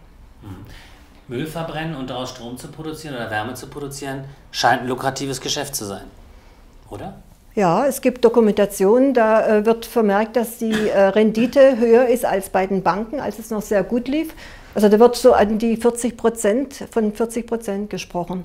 Dann Weil- kaufe ich mir dieses Kraftwerk. Also das ist ganz interessant. Also Ja. muss ich das Heizkraftwerk Münster mir kaufen. Ja, Ja, vor allen Dingen- sich mal durch, 40% Rendite. Vor allen Dingen, wir versuchen ja immer Müll zu trennen. Das ist ja das Problem. Die Bürger wollen es ja wirklich richtig machen. Und im Endeffekt wird dieser getrennte Müll, äh, der wird ja wieder weiter verbrannt zum Teil. Ne? Zum Teil an Zementwerke geliefert, zum Teil braucht aber auch der Müll wieder neue Stoffe, damit er brennt.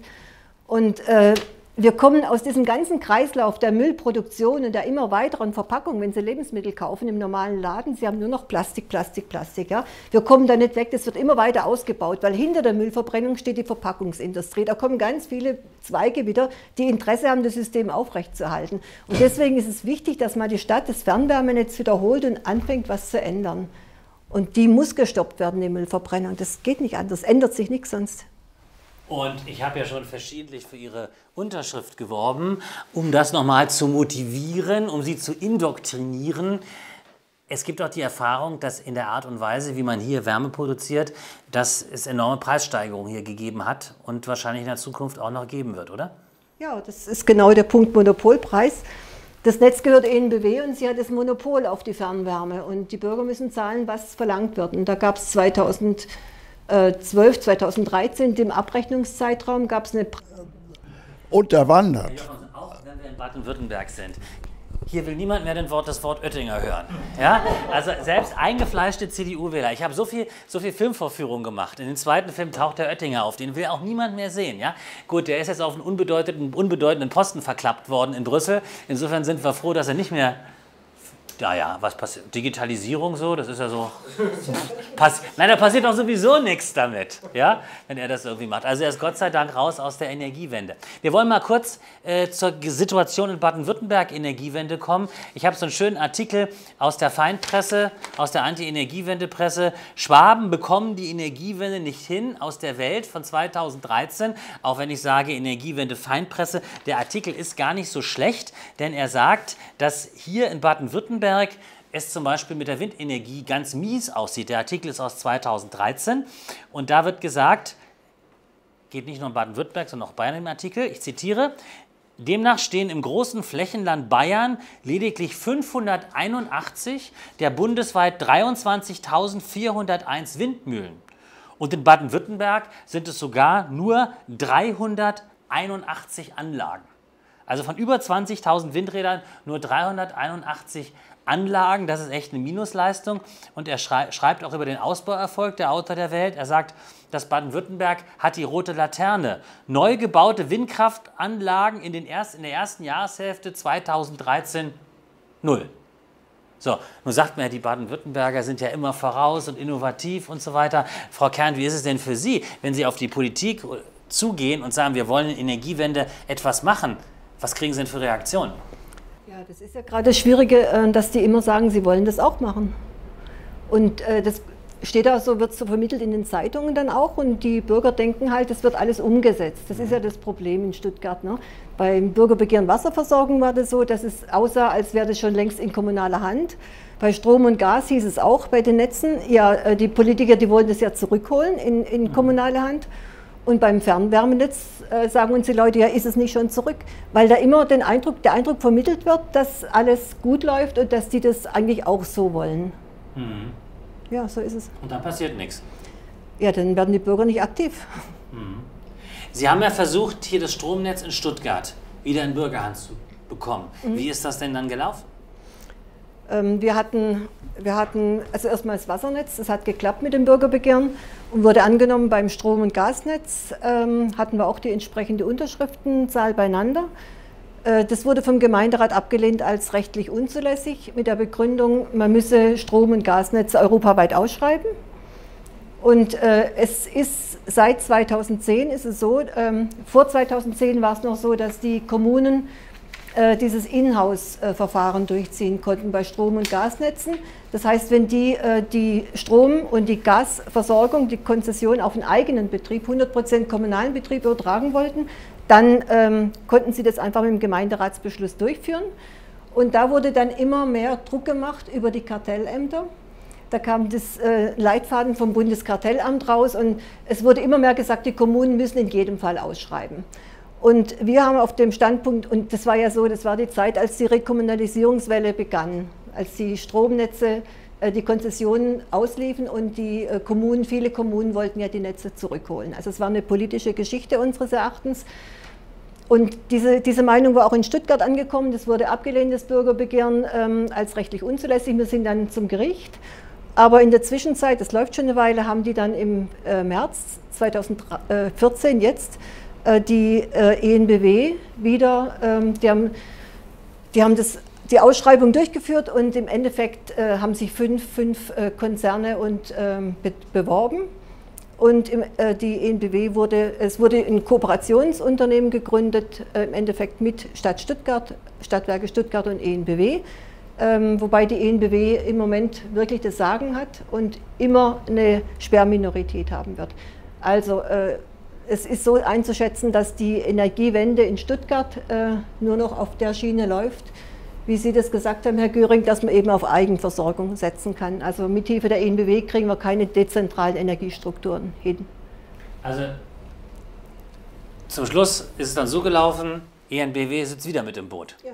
Die gründen das und das funktioniert und der Gemeinderat hat es entschieden. Auf welcher Grundlage, mit welchen Argumenten hat die ENBW bekommen? Ja, es ist so, die Ausschreibung ist äh, immer sehr geheim. Da äh, werden so Kataloge ausgearbeitet, Kriterien, Punkte festgelegt, für welche Antwort man welche äh, Punkte kriegt. Ähm, insgesamt ist es geheim und das ist ja auch ein äh, das ist ja gerade der Punkt, der angegriffen werden muss, weil man nicht mehr als Bürger nicht mehr kontrollieren kann, wie läuft die Entscheidung. Es geht ja um unsere Energieversorgung. Und ähm, deswegen kann man das nicht kontrollieren. Es gibt nur eine Aussage von Hannes Rockenbauch, SOS Die Linke, der gesagt hat, dieses Verfahren ist, die Bewertung ist beliebig gelaufen.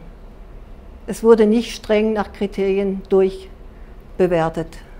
Aber ich meine, so, so, so, ein Gemeinderat müsste doch eigentlich transparent machen, wie die Entscheidung gefallen ist, oder? Nein, das ist ja gerade, das muss ja geheim sein. Warum das ist muss ja, das, das geheim ist sein? das äh, Ausschreibung ist geheim, das ist so festgelegt. Das muss ganz streng geheim sein. Sobald ein Privater mit ins Spiel kommt, ist immer alles geheim. Ja, es ist so. Heißt ja auch privat, ne? So, wir haben Matthias Filbinger ins Studio. Vielleicht können wir mal kurz ihm ein Mikro geben und eine, eine Lampe auf ihn richten. Herr Filbinger freut sich jetzt, dass ich ihn aus dem Publikum rausgefischt habe.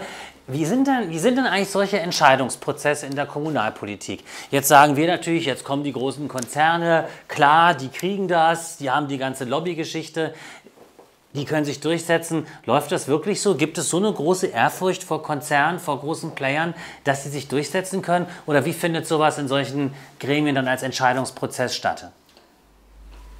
Wenn wir mal die Kommune Stuttgart anschauen, da haben wir erstmal eine Verwaltung und die Verwaltung gibt die Richtung vor. Und der Gemeinderat, der nickt gewisse Dinge dann ab. Ich habe manchmal schon gesagt, der Gemeinderat errät dann eben, wo man abstimmen soll. Etwas apostrophiert. Aber es ist wirklich so, wir haben natürlich hier in Stuttgart Großunternehmen, das sind Steuerzahler, und die legen natürlich diese Funde auf die Waagschale und sagen, ohne uns gibt es keine Gewerbesteuer und damit auch keine wirtschaftliche Entwicklung. Das sind Argumente, die immer wieder zu hören sind. Aber sind denn die Gemeinderatsmitglieder so, ähm, so vorsichtig, dass die sagen, oh Gott, wir wollen nicht ENBW verärgern? Oder sagen wir mal so, sind dann so die Energiewende-Kantonisten Frau Kern kommt mit wehenden Haaren reingerannt und sagt, wir wollen es selber machen. Und die sagen, uh, wir geben es lieber ENBW als Frau Kern oder Herrn Jochemsen oder was weiß ich alles. Geht man da lieber auf Nummer sicher? Spielt sowas eine Rolle? Schauen Sie es ja so, es sind ja auch Politiker in den Aufsichtsräten dieser Unternehmen, auch Gemeinderäte. Das heißt, die sind ganz nah an den Entscheidungen dran. Ob sie die Fachkompetenz haben, wage ich manchmal zu bezweifeln. Die sind einfach da. Und ähm, es sind Landesunternehmen, es sind Unternehmen, die Arbeitsplätze hier sichern. Damit wird auch immer wieder letztendlich gepunktet. Und äh, es ist sehr, sehr schwer, da dagegen vorzugehen. Ja, eine ENBW, Energie Baden-Württemberg, das ist natürlich eine Marke und da will keiner so schnell dagegen gehen. Wenn Sie jetzt mit irgendwelchen Projekten, Ideen, Konzeptionen rangehen, das versuchen, in den politischen Entscheidungsablauf hineinzubringen, wie funktioniert das? Haben Sie da eine Chance oder heißt es immer so, boah, nee, uh, Energiewende wollen wir nicht richtig ran? Also ich kann aus eigener Erfahrung sagen, wir sind seit zwei Jahren an einem großen Projekt mit nachwachsenden äh, hohen C4-Gräsern für die Spezialisten und äh, haben im Umweltministerium angeklopft, im Wirtschaftsministerium, haben denen unsere Rentabilitätsrechnungen vorgelegt. Es wollte niemand verstehen. Wir müssen die Industrie nehmen, wir brauchen Zuschüsse und es gelingt jetzt so ganz langsam, aber nicht hier in Baden-Württemberg, sondern auf anderen Ebenen, vor allem im Ausland, Südamerika, dort Interesse zu wecken. Denn die Leute wissen, dass sie noch vor dieser Entwicklung stehen. Hier im Land ist es ganz, ganz schwierig. Wir haben auch Kontakte zur ENBW, äh, wurden belächelt. Ähm, wir haben es da sehr, sehr schwer. Und wenn ein Privatmann kommt mit einer Idee, äh, dann war die Idee entweder schon mal da so wie bei uns. Da hat man im Land gesagt, das haben wir schon vor zehn Jahren gemacht, schon geprüft, aber damals hat man eben nicht gerechnet, sondern man hat einfach nur gesagt, okay, die Verfahren, die funktionieren nicht. Aber je teurer die Energien werden, umso interessanter werden dann auch die Alternativen. Und so wie man Tiefseebohrungen mittlerweile finanzieren kann, weil der Sprit immer teurer wird, so wird es natürlich auch interessant, wie bisher, bisher unrentable Verfahren zur Energiegewinnung aus nachwachsenden Rohstoffen oder aus Wind und Sonne zu finanzieren. Ich habe noch eine These. Es gibt viele Argumente, wie Sie sagen, Ihre C4-Gräser. Ich habe jetzt von C4-Gräsern auch noch nichts gehört. Müssen Sie auch. Ich habe auch noch nie was von C2-Gräsern gehört, aber ist jetzt egal. Also, da wird gesagt, naja, das ist schwierig und das, wie Sie sagen, ist vielleicht zu teuer. Also es werden so einzelne Gegenargumente gebracht. Aber eigentlich steckt ja so der Geist dahinter, dass man eigentlich das gar nicht machen, die Energiewende gar nicht machen will, dass dieser Systemwechsel gar nicht stattfinden soll, sondern dass es eigentlich darum geht, das, was jetzt ist, fortzusetzen. Das ist immer so mein Eindruck. Das ist natürlich in den Köpfen der Leute drin. Und nehmen wir ein anderes Beispiel. Erst unsere Kinder jetzt haben das Thema Mülltrennung, also umweltbewusstes Verhalten, von klein auf gelernt, bei denen sind es Automatismen. Bei uns 50, 60-Jährigen, da sieht die Welt noch anders aus. Man ist reingewachsen in die alten Systeme und ein Wechsel ist immer schwierig, auch den umzudenken und umzusetzen. Also es wird Generationen dauern, bis das soweit ist. Und es muss wehtun. Es muss immer wehtun, es muss an den Geldbeutel gehen, denn nur darüber ist der Mensch, ich möchte mal so sagen, erziehbar. Eine Frage habe ich noch an Sie. Der SPD-Fraktionsvorsitzende Schmiedel hat einen Brief geschrieben, dass sich Baden-Württemberg, die Landesregierung sich lächerlich macht, weil man hier keine Windräder aufstellt. Nun sind die Grünen, stellen den Ministerpräsidenten. Ich könnte, hätte eigentlich gedacht, mit den Grünen als Ministerpräsidenten hier, die die Regierung stellen, geht es mit der Energiewende in Baden-Württemberg so richtig ab. Scheint aber nicht so zu sein. Die Pläne sind ja schon lange da gewesen. Jetzt ist es langsam erlaubt. Nur haben wir ein Problem. Wenn wir heute 100 Windräder aufstellen wollen, brauchen wir dafür Flächen. Wir müssen den einen oder anderen Baum fällen. Damit wird das ein oder andere Vogelnest unter Umständen nicht mehr da sein. Dann haben wir natürlich auch die Privatleute, die die Trassenführung nicht wollen. Das heißt also, die privaten Interessen und die Interessen von gewissen Gruppen, der Bund und wer weiß was alles, der steht da natürlich im Wege. Und hier ist es die Aufgabe aller, sich daran zu beteiligen, auch einen Kompromiss zu finden um den Weg freizumachen. Herr Schmiedel schreibt in seinem Brief, Baden-Württemberg stellt jetzt weniger Windräder auf als zur CDU-Zeit. Ähm, Wachstum ist natürlich etwas Relatives. Wenn ich von 10 auf 20 Windräder erhöhe, habe ich 100% Steigerung. Aber ich von, wenn ich von 300 auf 360 erhöhe, habe ich eben nur noch 20%. Gut, alles klar. Vielen Dank erstmal. Bitte Herr schön. Filbinger. So, Sie sehen, so kalt habe ich Sie gar nicht, gar nicht erwischt. Herr Güring, eine Frage an Sie gleich dazu. Wenn Sie losstiefeln, wollen Projekte auf die Beine stellen, welche Widerstände erleben Sie? Ich wollte zuerst noch einen anderen Gedanken loswerden ähm, zum Thema von ihm. Weil eines, was all diese Widerstände und alles ad absurdum führt, das habe ich in der Schule gelernt, das war der zweite Hauptsatz der Thermodynamik, der wurde noch nicht widerlegt.